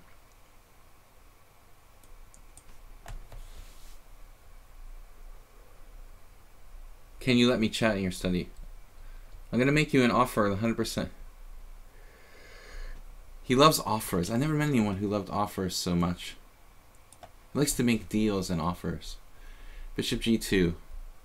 Make an offer 100% legit.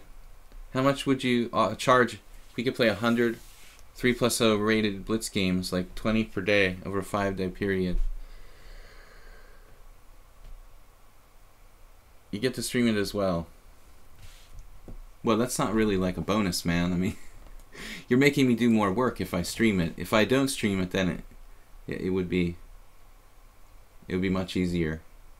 I mean, I could stream it, but I probably wouldn't really, you know, doing the, the chat while I'm playing probably wouldn't help my result. Um, yeah, I'd prefer to do do something like that without streaming it. The 3-0 games, I mean, I don't see any point in in streaming those. I don't have time to do commentary, so people just watch the expression on my face while I struggle not to lose on time. D3. Not a really aggressive setup for white, but I don't really like queen c7, and, and this seems very passive to me. In general, in the King's Indian, I think the queen belongs on e7 more often than it does on c7. The c7 square tends to be like on the queen side, it's kind of like white's territory. This is an English opening technically now. Um, so placing the queen here seems not good.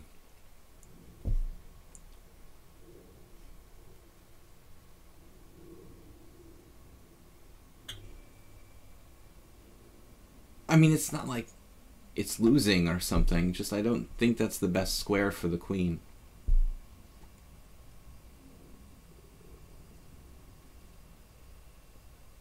On the other hand, b5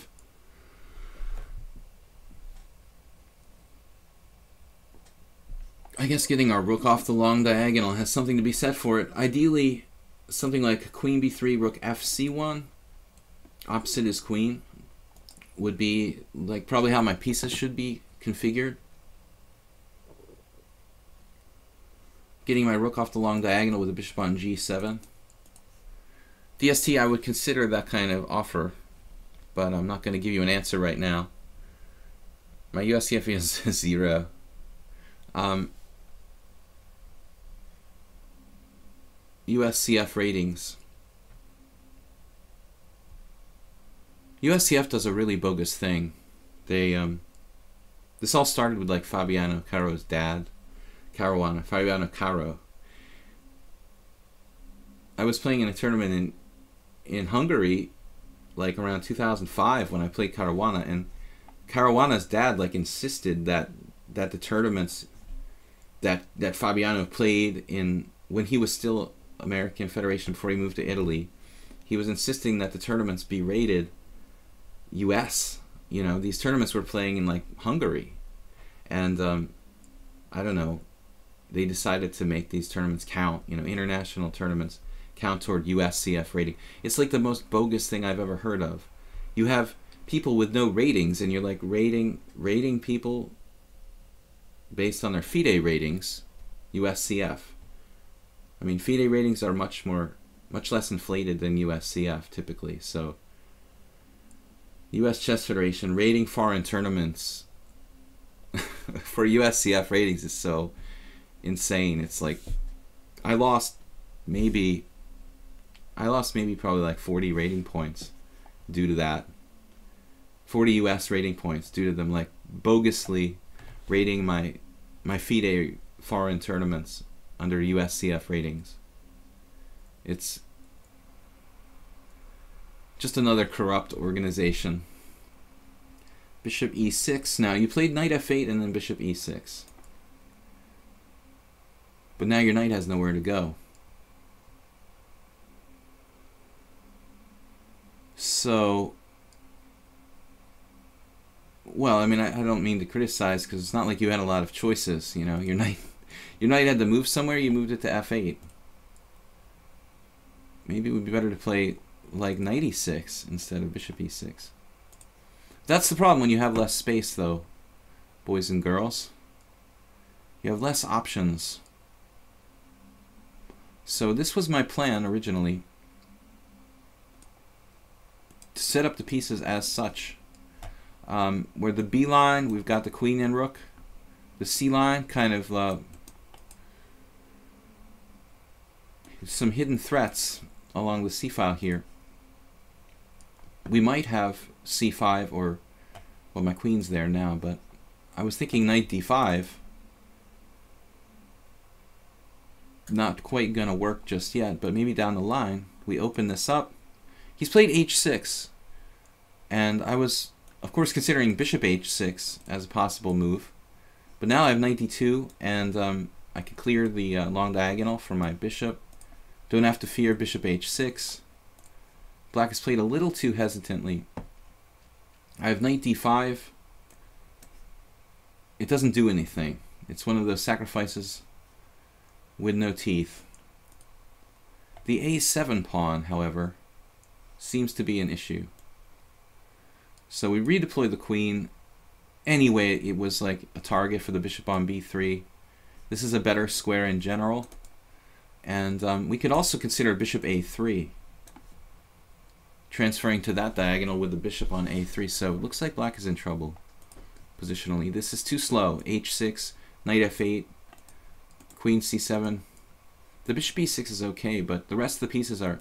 He doesn't have any counterplay. No no counterattack. He's supposed to have like some kind of counterattack on the king side, like f5, g5, you know. So he's he's without that kind of counterplay. Again, bishop a3 looks good. I am a little worried. Yeah, here he's dropping c6. That's the thing I'll do. I'll, I'll talk and I'll talk and I'll like then miss like some overt move that just like wins the exchange. Um, yeah, so we saw it. I almost played bishop a3, which would have been like horrifying. If I play bishop a3, he plays c5, and he's probably okay. White's still slightly better there, but sometimes I miss obvious tactics because I'm too busy like chattering about the strategic ideas in the position. Um, when you play weird openings, it turns into an English. Well, I kind of cheated on this one. I mean, it wasn't really a weird opening. I should play something more extreme. I started out with, with a normal opening, and then I played b4 to try to make it a weird opening, but it's really, it's still in English. It was really always in English. I kind of cheated. Queen takes or bishop takes. I mean, yes, I have to take the exchange here.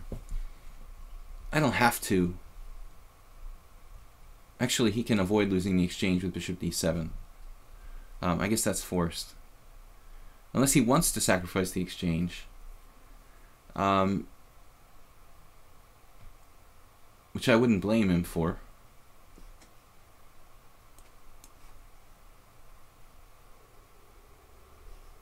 And then our bishop a3, we were trying to get this in before. Much more relevant here. There's nothing going on on the long diagonal. The base of his pawn chain is on d6. I do have to be careful about getting mated, like knight g4 and queen h3, but even there I would have knight f1, so it's it's probably just over for black. Objectively, clear pawn down with weaknesses and a bad bishop. Knight there. Knight is pretty badly placed on b6 actually. I'm thinking like queen b5. Trying to play c5. Um, I could play knight b5 right away actually.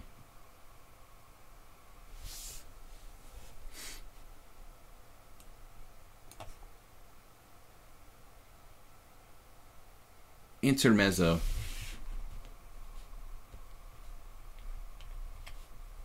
Next game, we're going to try to play something truly unusual. Back to basics, of course, you should consider sacrificing the exchange. I, I don't like taking such exchanges normally.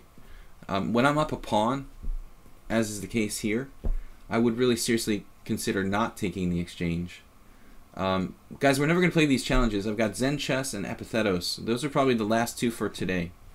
Um, yeah, I'm going to call it right now. These are the last two games for today.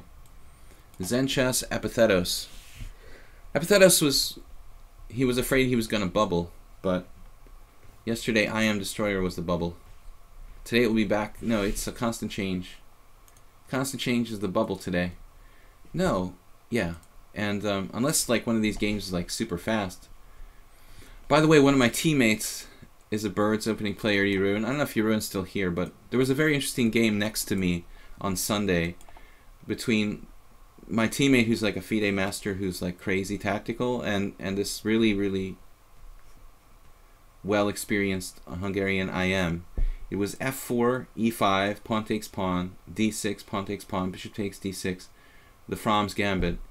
Um, and then like knight f3, g5, and white played d4, and g4, knight g5. I knew about knight e5, but knight g5, and like white sacrifices a piece with f5, his knight is trapped on g5. It was totally chaotic. Um, but I saw a new idea, e5 in the From's gambit. Pawn takes pawn, d6, pawn takes pawn, bishop takes d6, knight f3, g5. It's not a new idea, but a new idea to me. Like, white can play c3, g4, queen a4 check, and uh, evacuate the d1 square for the white king. So I was going to recommend that to our moderator, Jeroen, if he ever plays the white side of the, the From's Gambit, to try this idea of playing, accepting the From's Gambit, and play c3, queen a4 check, and, and giving your king like a runaway evacuation square on d1. But Zen just played e6. Okay, I just basically gambited two minutes. Um, yeah, we had a similar game last week against somebody. It sort of stops b3 because there's this queen f6 idea, which would like fork f4 and the a1 rook. Playing b6 here. Why not?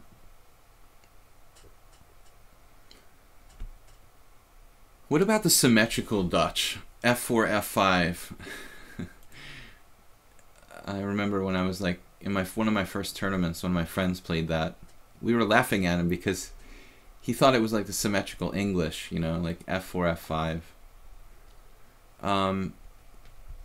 Anyway, the piece sacrifice is a known theoretical line. Played it once with white. Very interesting. Yeah, Saronche, I thought I didn't realize it was like a really like analyzed thing and I, I didn't know that my like my my teammate was playing something that was known I know that knight e5 is not that great for white. At least that was my impression. But very fascinating, Jeroen. Did you know about c3? I would look into that. That looks like white might be able to get an advantage. I was looking at it. Um, I was looking at it yesterday with with Stockfish, and it appears that c3 might be a good move. Um, there is like one or there are like one or two games where that's been played. So anyway, Zen chess with a hyper modern answer to the to the birds opening, which seems very reasonable to me. So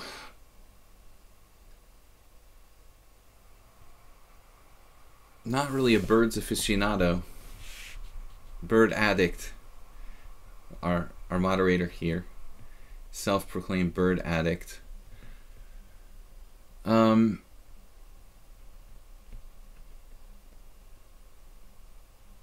I can certainly castle. Looks like the normal thing to do. I mean, he could go ballistic with h5, but I don't think that that's really fitting in with this quiet bishop e7, knight f6, e6 type of formation. He'll play more positionally. Um, we can transpose to various things like uh, Dutch reversed, or if he plays d5, or the Sicilian, closed Sicilian. I guess if you play f4, you, you kind of have to be prepared to play against the closed Sicilian no matter what. It is kind of frustrating to play against this non-committal setup that Zen Chess has played. I feel like the onus is on me to do something, but um, there's really not that much to do.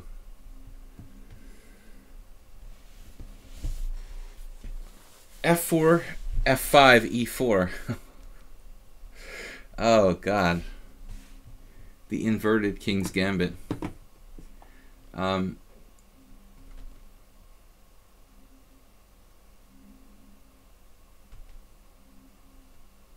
man, there's nothing I can do but transpose to some kind of line of a closed Sicilian or Dutch. This is the moment of truth. We get to see whether he is intending to play c5 or d5. Of course, he can play both. Now, a little bit like a King's Indian, these kind of positions. e4, pawn takes pawn, knight g5.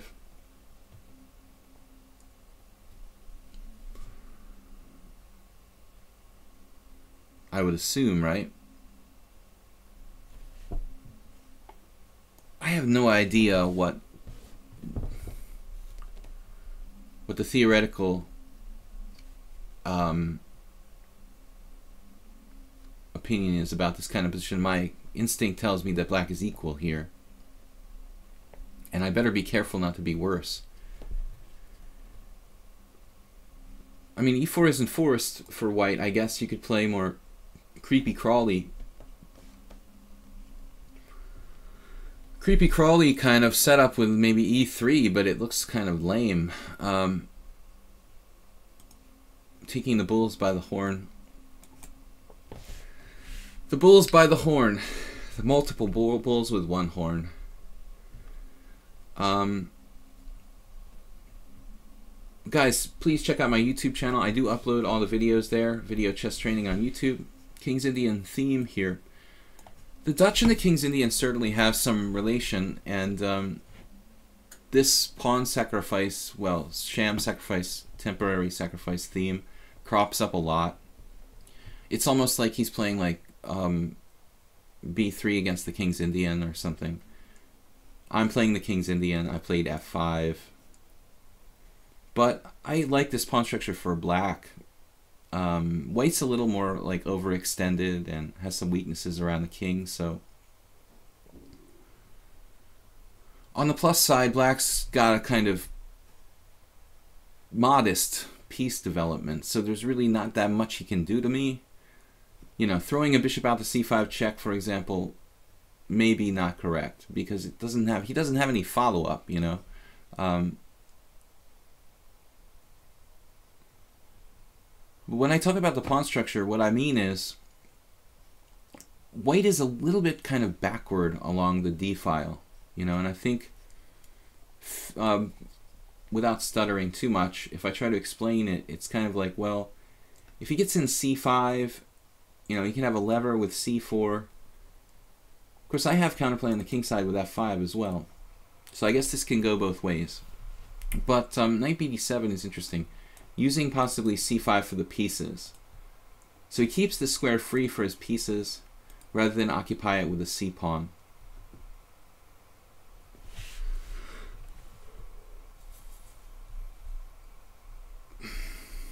Knight takes e4.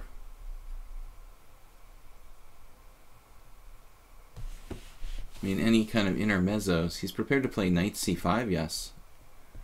I guess so. Um, inter intermezzos, like the f5 break. I'm not even that well developed here. You know, I don't think I can can do anything like that.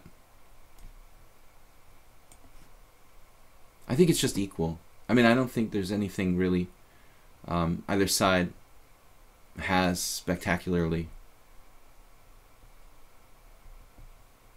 I would evaluate this as about equal. Although I like black's pawn structure in the sense that white is a little backward along the d file. And I think that's more relevant than like my e file. I was kind of um, paralyzed for a moment. Surprised by this move, knight c5, though it may be quite good. Wasn't what I had expected him to simplify, so... It's a bit strange. A bit surprising. Maybe he'll let me have bishop takes b7, fianchettoing his his bishop there. There's also queen h5 type of move that could weaken his king side. I don't see anything fancy, so here we go. Um, no tactics per se.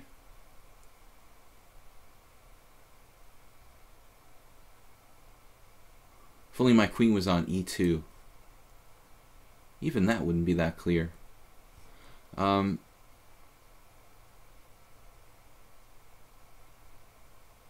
I don't see any tactics for white. He's played very solidly. We can weaken his king side by making him play h6 or bishop takes g5.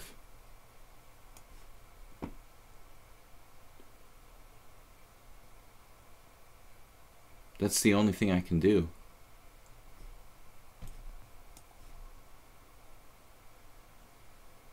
Nizamedinov. he liked to play the king's Indian attack and stuff like this. He wasn't afraid of this weakness of the d4 square so much. I guess it's okay for white. Just not I'm not I'm not typically playing this kind of closed Sicilian.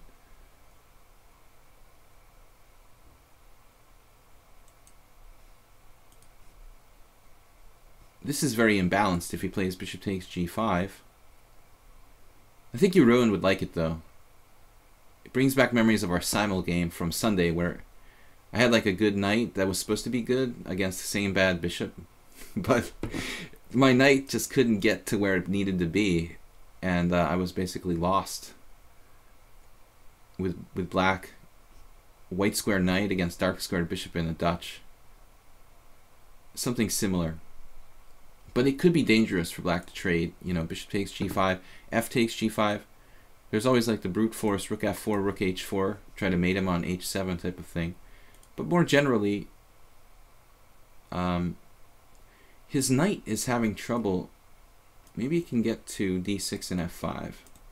But again, there it's not like a permanent outpost either. It's a bit tricky. Queen d4 check surprising me. Now I play king g2. Oh, I see. So he wants to play queen d5 in some positions, maybe. Well, I don't know what choices I really have. I don't want to pin myself. I was thinking of hiding my king on h3 actually. But here I can't do it. He's got h6. He's got h6. That's the, the rub. That's his whole idea. So, I don't see how I can sacrifice a piece here. I have to play this.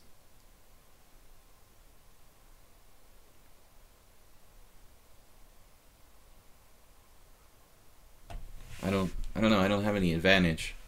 Um, everyone's in silent silent wonder at black's ingenious defense of queen queen d4 check followed by queen d5. I guess I should have played rook f2 in retrospect. Thinking outside the box a little bit here. Still, I think black has adequate black would have adequate resources. As it stands now, approximately equal would be my evalu evaluation. Oh man, I just thought of something really bad. You guys see the Gibraltar tournament? This young lady, Papp Petra, did the most unbelievable thing against Ivanchuk. Did she lose finally? Does anybody know? Because it was unreal. Like she had a forced king and pawn endgame with dead symmetrical pawns and didn't do it against Ivanchuk. The guy's 2700, you're 2300. You can trade the last pieces to reach a symmetrical king and pawn endgame, and you don't trade and then get outplayed in a bishop endgame and lose. Now that's that's unbelievable, man. I mean, Ivanchuk just handed her a draw on a silver platter, and she didn't take it. I felt kind of really sorry for her. I mean, that is ridiculous, though. Um, I decided to be aggressive here. Do you guys see that? Maybe not. It wasn't like an important game, but it was Ivanchuk. You know, it's always entertaining to watch Ivanchuk. But Ivanchuk, first of all, I don't know, maybe he can't play against girls or something, but First thing he did was like play the Petrov against someone rated 400 points lower. Okay. Now I realize that Ivanchuk can play any opening, but you know realistically, Chucky, I mean, is it a good idea playing for a win against someone 400 points lower with a Petrov? Then he goes into like this totally symmetrical position, and even allows her to like trade off the last pieces to a dead draw king and pawn endgame. But I guess her confidence in her technique in the dead drawn king and pawn endgame wasn't so high so she decided just to be safe to keep the keep the bishops on the board and then get outplayed in an equal position. You know, and this is ridiculous, man. I mean, and this is a girl who has like Hungarian trainers, and she should know how to play endings. Um, it's pretty sad. Now the position is getting kind of dynamic.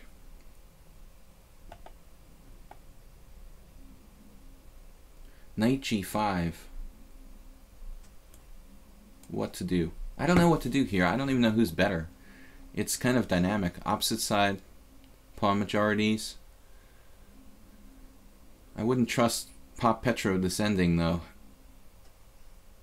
That is so sad. Like Ivanchuk gives you a draw on a silver platter and you don't take it. No, you want to play like a bishop ending where there's a small chance you can go wrong and lose. Instead of the guaranteed draw, I would like kill myself if I was her. It's it's ridiculous, really.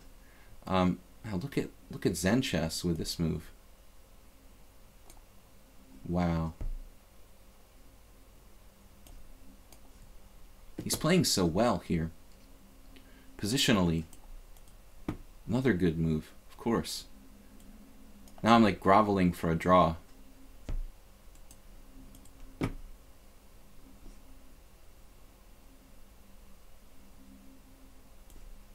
Well, I better trade that bishop off. I know Pet Petra wouldn't agree, but it looks like a good bishop to me.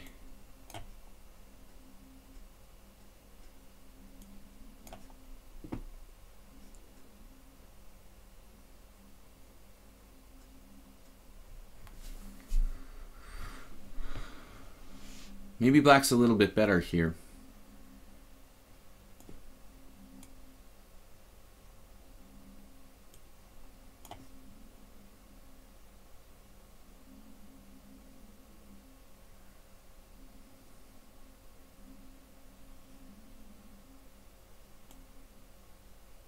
Oh.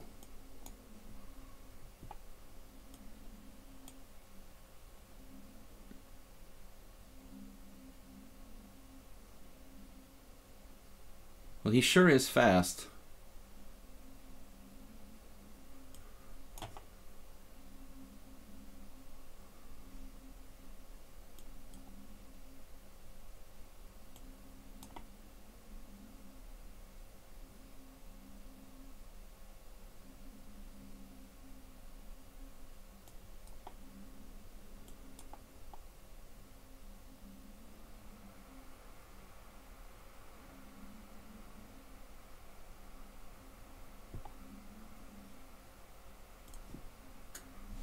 Guys, I have time for one more game. Okay, Zenchess was friendly enough to take the draw here. I think black is a tiny bit better. After pawn takes pawn, pawn takes pawn, it's probably a draw. But um, black would be justified trying to torture me a little bit here. Though I think this is a draw. Um, last game, we lost our other challenger, Epithetos. No, he's back. 5-5. Okay, What happened?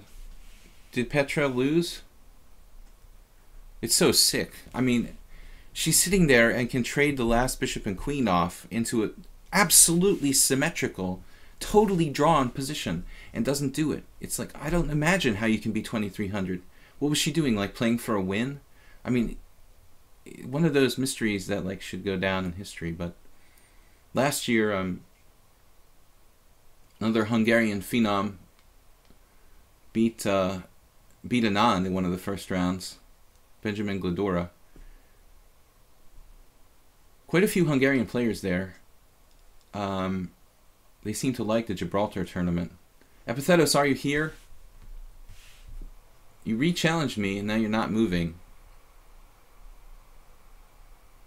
Yeah, Nakamura's game was interesting, but I haven't had enough time to really, um, haven't had enough time to really analyze it. Epithetos is not moving.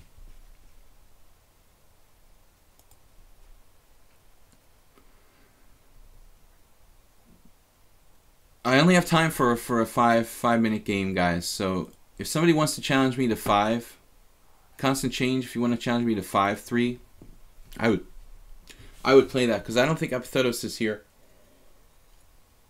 But I don't have time to play another um, long game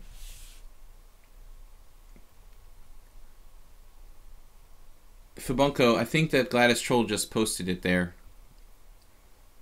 It's the sickest thing I've ever seen. Like, you're 2300 and you can't know, like, it's a drawn king and pawn end game. You're afraid to do that. And then, uh, and then she even went, went on to, like, lose a drawn bishop end game.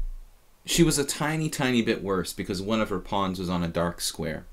But the position is a total draw. I mean, she really had to go out of her way to lose. It was sort of sick. But Ivanchuk, for his part, like he just gives her a draw and like tortures himself with this like 80 move game to try to win a drawn position. And why not just play like a normal opening instead of the Petrov in the first place? Um, anyway, all right, we have a new challenge. CH Legends challenged me to 3 5. Constant Change was next in line, so I'm going to give it to him. Yes, I'm going to leave the page. We're going to play Constant Change Epithetos. I don't know what happened. I mean, he, he was the bubble. He, he got past the bubble, but he, he wasn't here for his game. Unusual openings. Um, yeah, let, let's play the, the favorite, St. George. So I feel sorry, but I don't understand how you can be, you know, trained since since birth as like a junior player and, and not it's just maybe some kind of magic spell or something, you know. How do you not like have confidence in your king and pawn end game skills? Um, it's the most fundamental of, of all positions. it's just laughable. Um, how could someone not?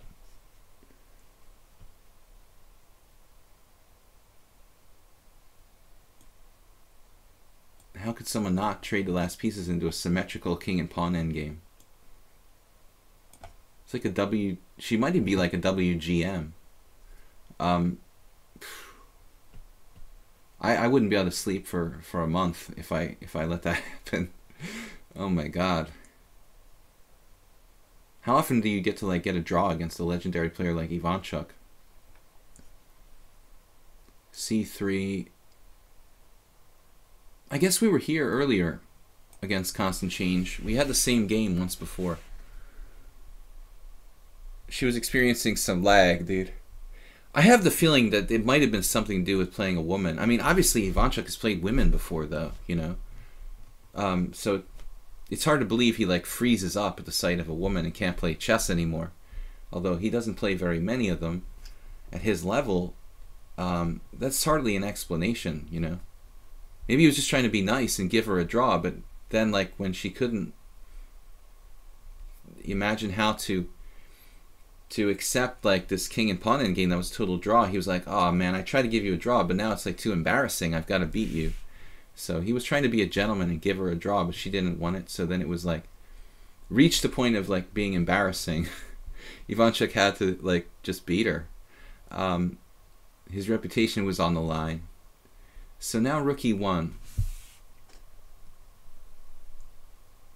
Yeah, I'm thinking that the earlier game against Constant Change it might have been a slightly different position. Because that might have been an Owen defense. I'm thinking I had like knight b4 and bishop a6 in that game. And here I have the pawn on a6 and b5. So, um, queen b6. What typically happens is white gets a good game by playing like d5, 97, and then c4. So I think I should take, I should think about taking on d4 maybe, or d5, d4, whatever that is. Anyway, guys, I'm a little bit, a little bit sleepy. Um, it's been a long stream, so take it easy on me if I say something stupid.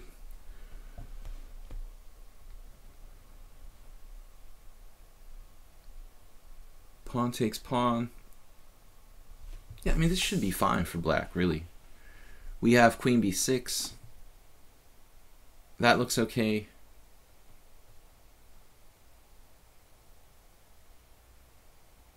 There's knight b4.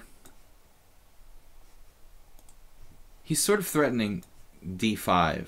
Sort of threatening, maybe concretely threatening d5.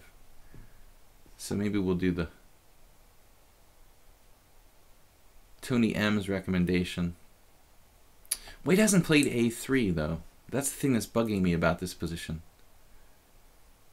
He hasn't played A3, but eventually he's going to have to play it.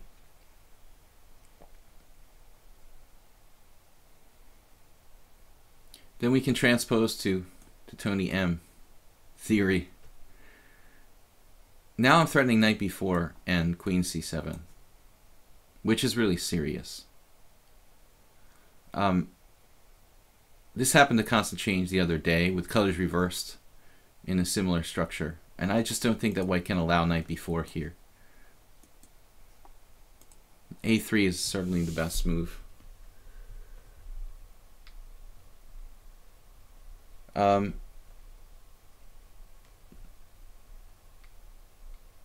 yeah, he wasn't thinking when he chose the Petrov, I guess. Or maybe she had played other lines or something and then switched up on him. But it wasn't like... And then he did another weird thing. I mean, in the line she played the Nimzovich variation with knight c3, which is what everybody plays. Every five-year-old child knows how to play the Nimzovich variation, like until move 15 with a, at least an equal position for white. Um, I, uh, I, you know, Ivanchuk castled kingside, which is usually they castle queenside with black lately. But maybe I, I need to look at the game a little bit in more depth because I just went over it kind of quickly.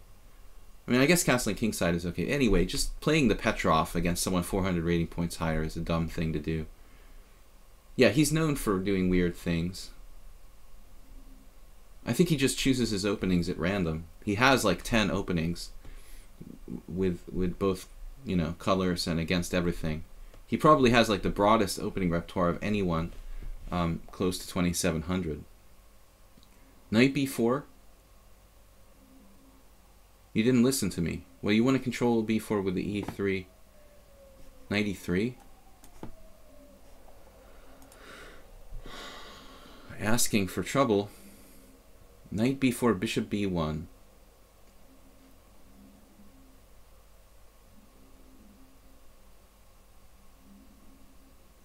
Sometimes there's stuff like rook takes c1, but I don't have it here. Queen c7 with the idea of knight c2, and then you can pin me. You can't pin me. Knight b4, right. This ought to be good. Constant Change let me do the same theme to him the other day in a similar position. I mean, he can give up the bishop, but it's not really what you want to do. Um, so, Queen c7 is next. No secrets about that with the threat of knight e3, and I don't think that white has a good a good answer. Okay, a3, well, playable, but I've got this valuable unopposed, whoops, valuable unopposed white squared bishop, which gives black a pretty good game. So that's that. Queen c7. Can't play knight, knight e3 because of e4.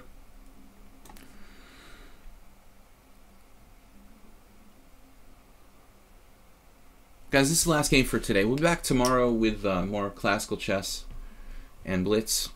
Normal stream with normal openings. A lot of experimental stuff today. Although I did midstream, I forgot we were playing Weird Wednesday, and I started to, I started to revert to my normal English opening. Um,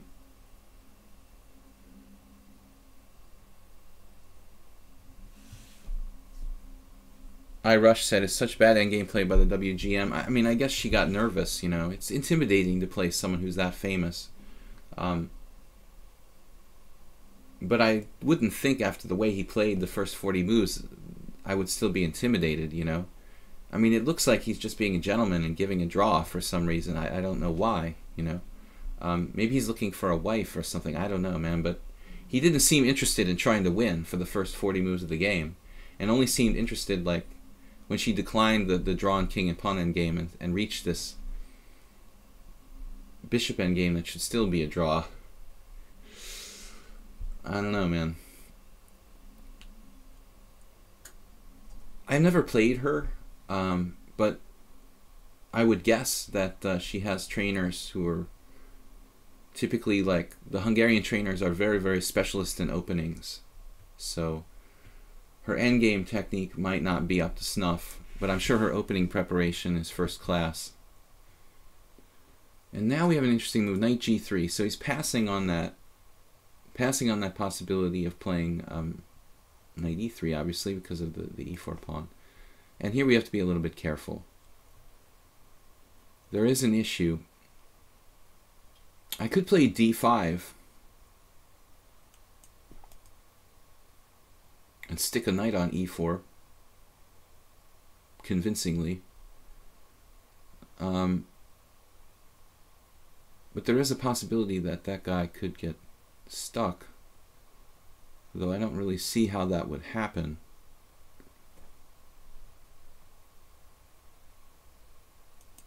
d6 is also okay, but white's catching up in development now. Queen c2 is the problem h5, interesting move. I'm going to default here. The simplest solution. Um, we could also play knight d7, but that's really passive. I mean e5, knight d7, but it's very passive. We do close down our bishop, though. This is not my first choice, but I'm running out of time. I'm about to lose on time. So I wanted to choose something forcing. White might still be better here after this move, maybe again, the knight d7 is not such a stupid idea in this exact situation. E5, knight d7, like a French.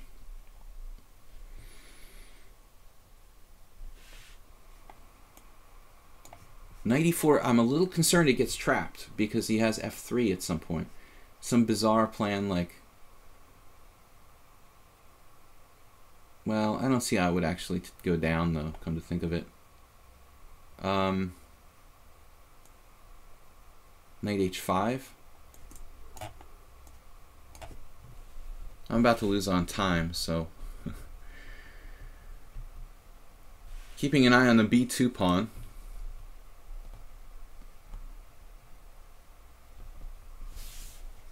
Yeah, this is kind of what I figured. But that's what the diagonal I wanted for my queen. If necessary, I'll retreat back to h7. One of my favorite squares lately. Lost a simul game like that on Sunday. It's a great hiding square. We have good white square control. Oh, knight h5. But he loses a piece here.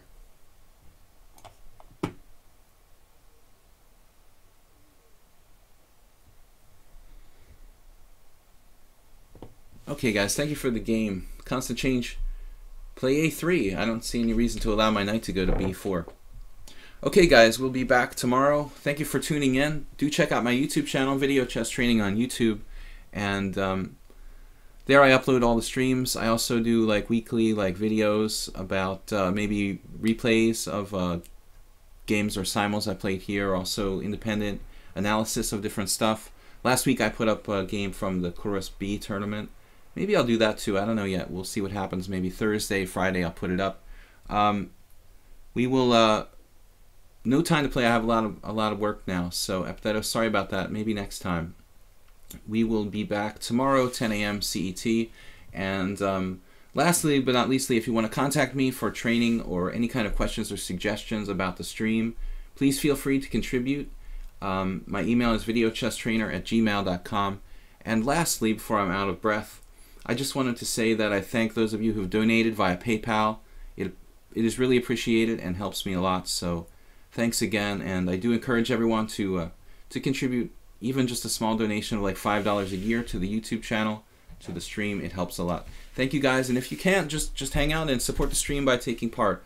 Again, sorry, Epithetos, but I have to go have a lot of stuff to do. I have to record a video and have several lessons today. So I will be back tomorrow, 10 a.m. CET.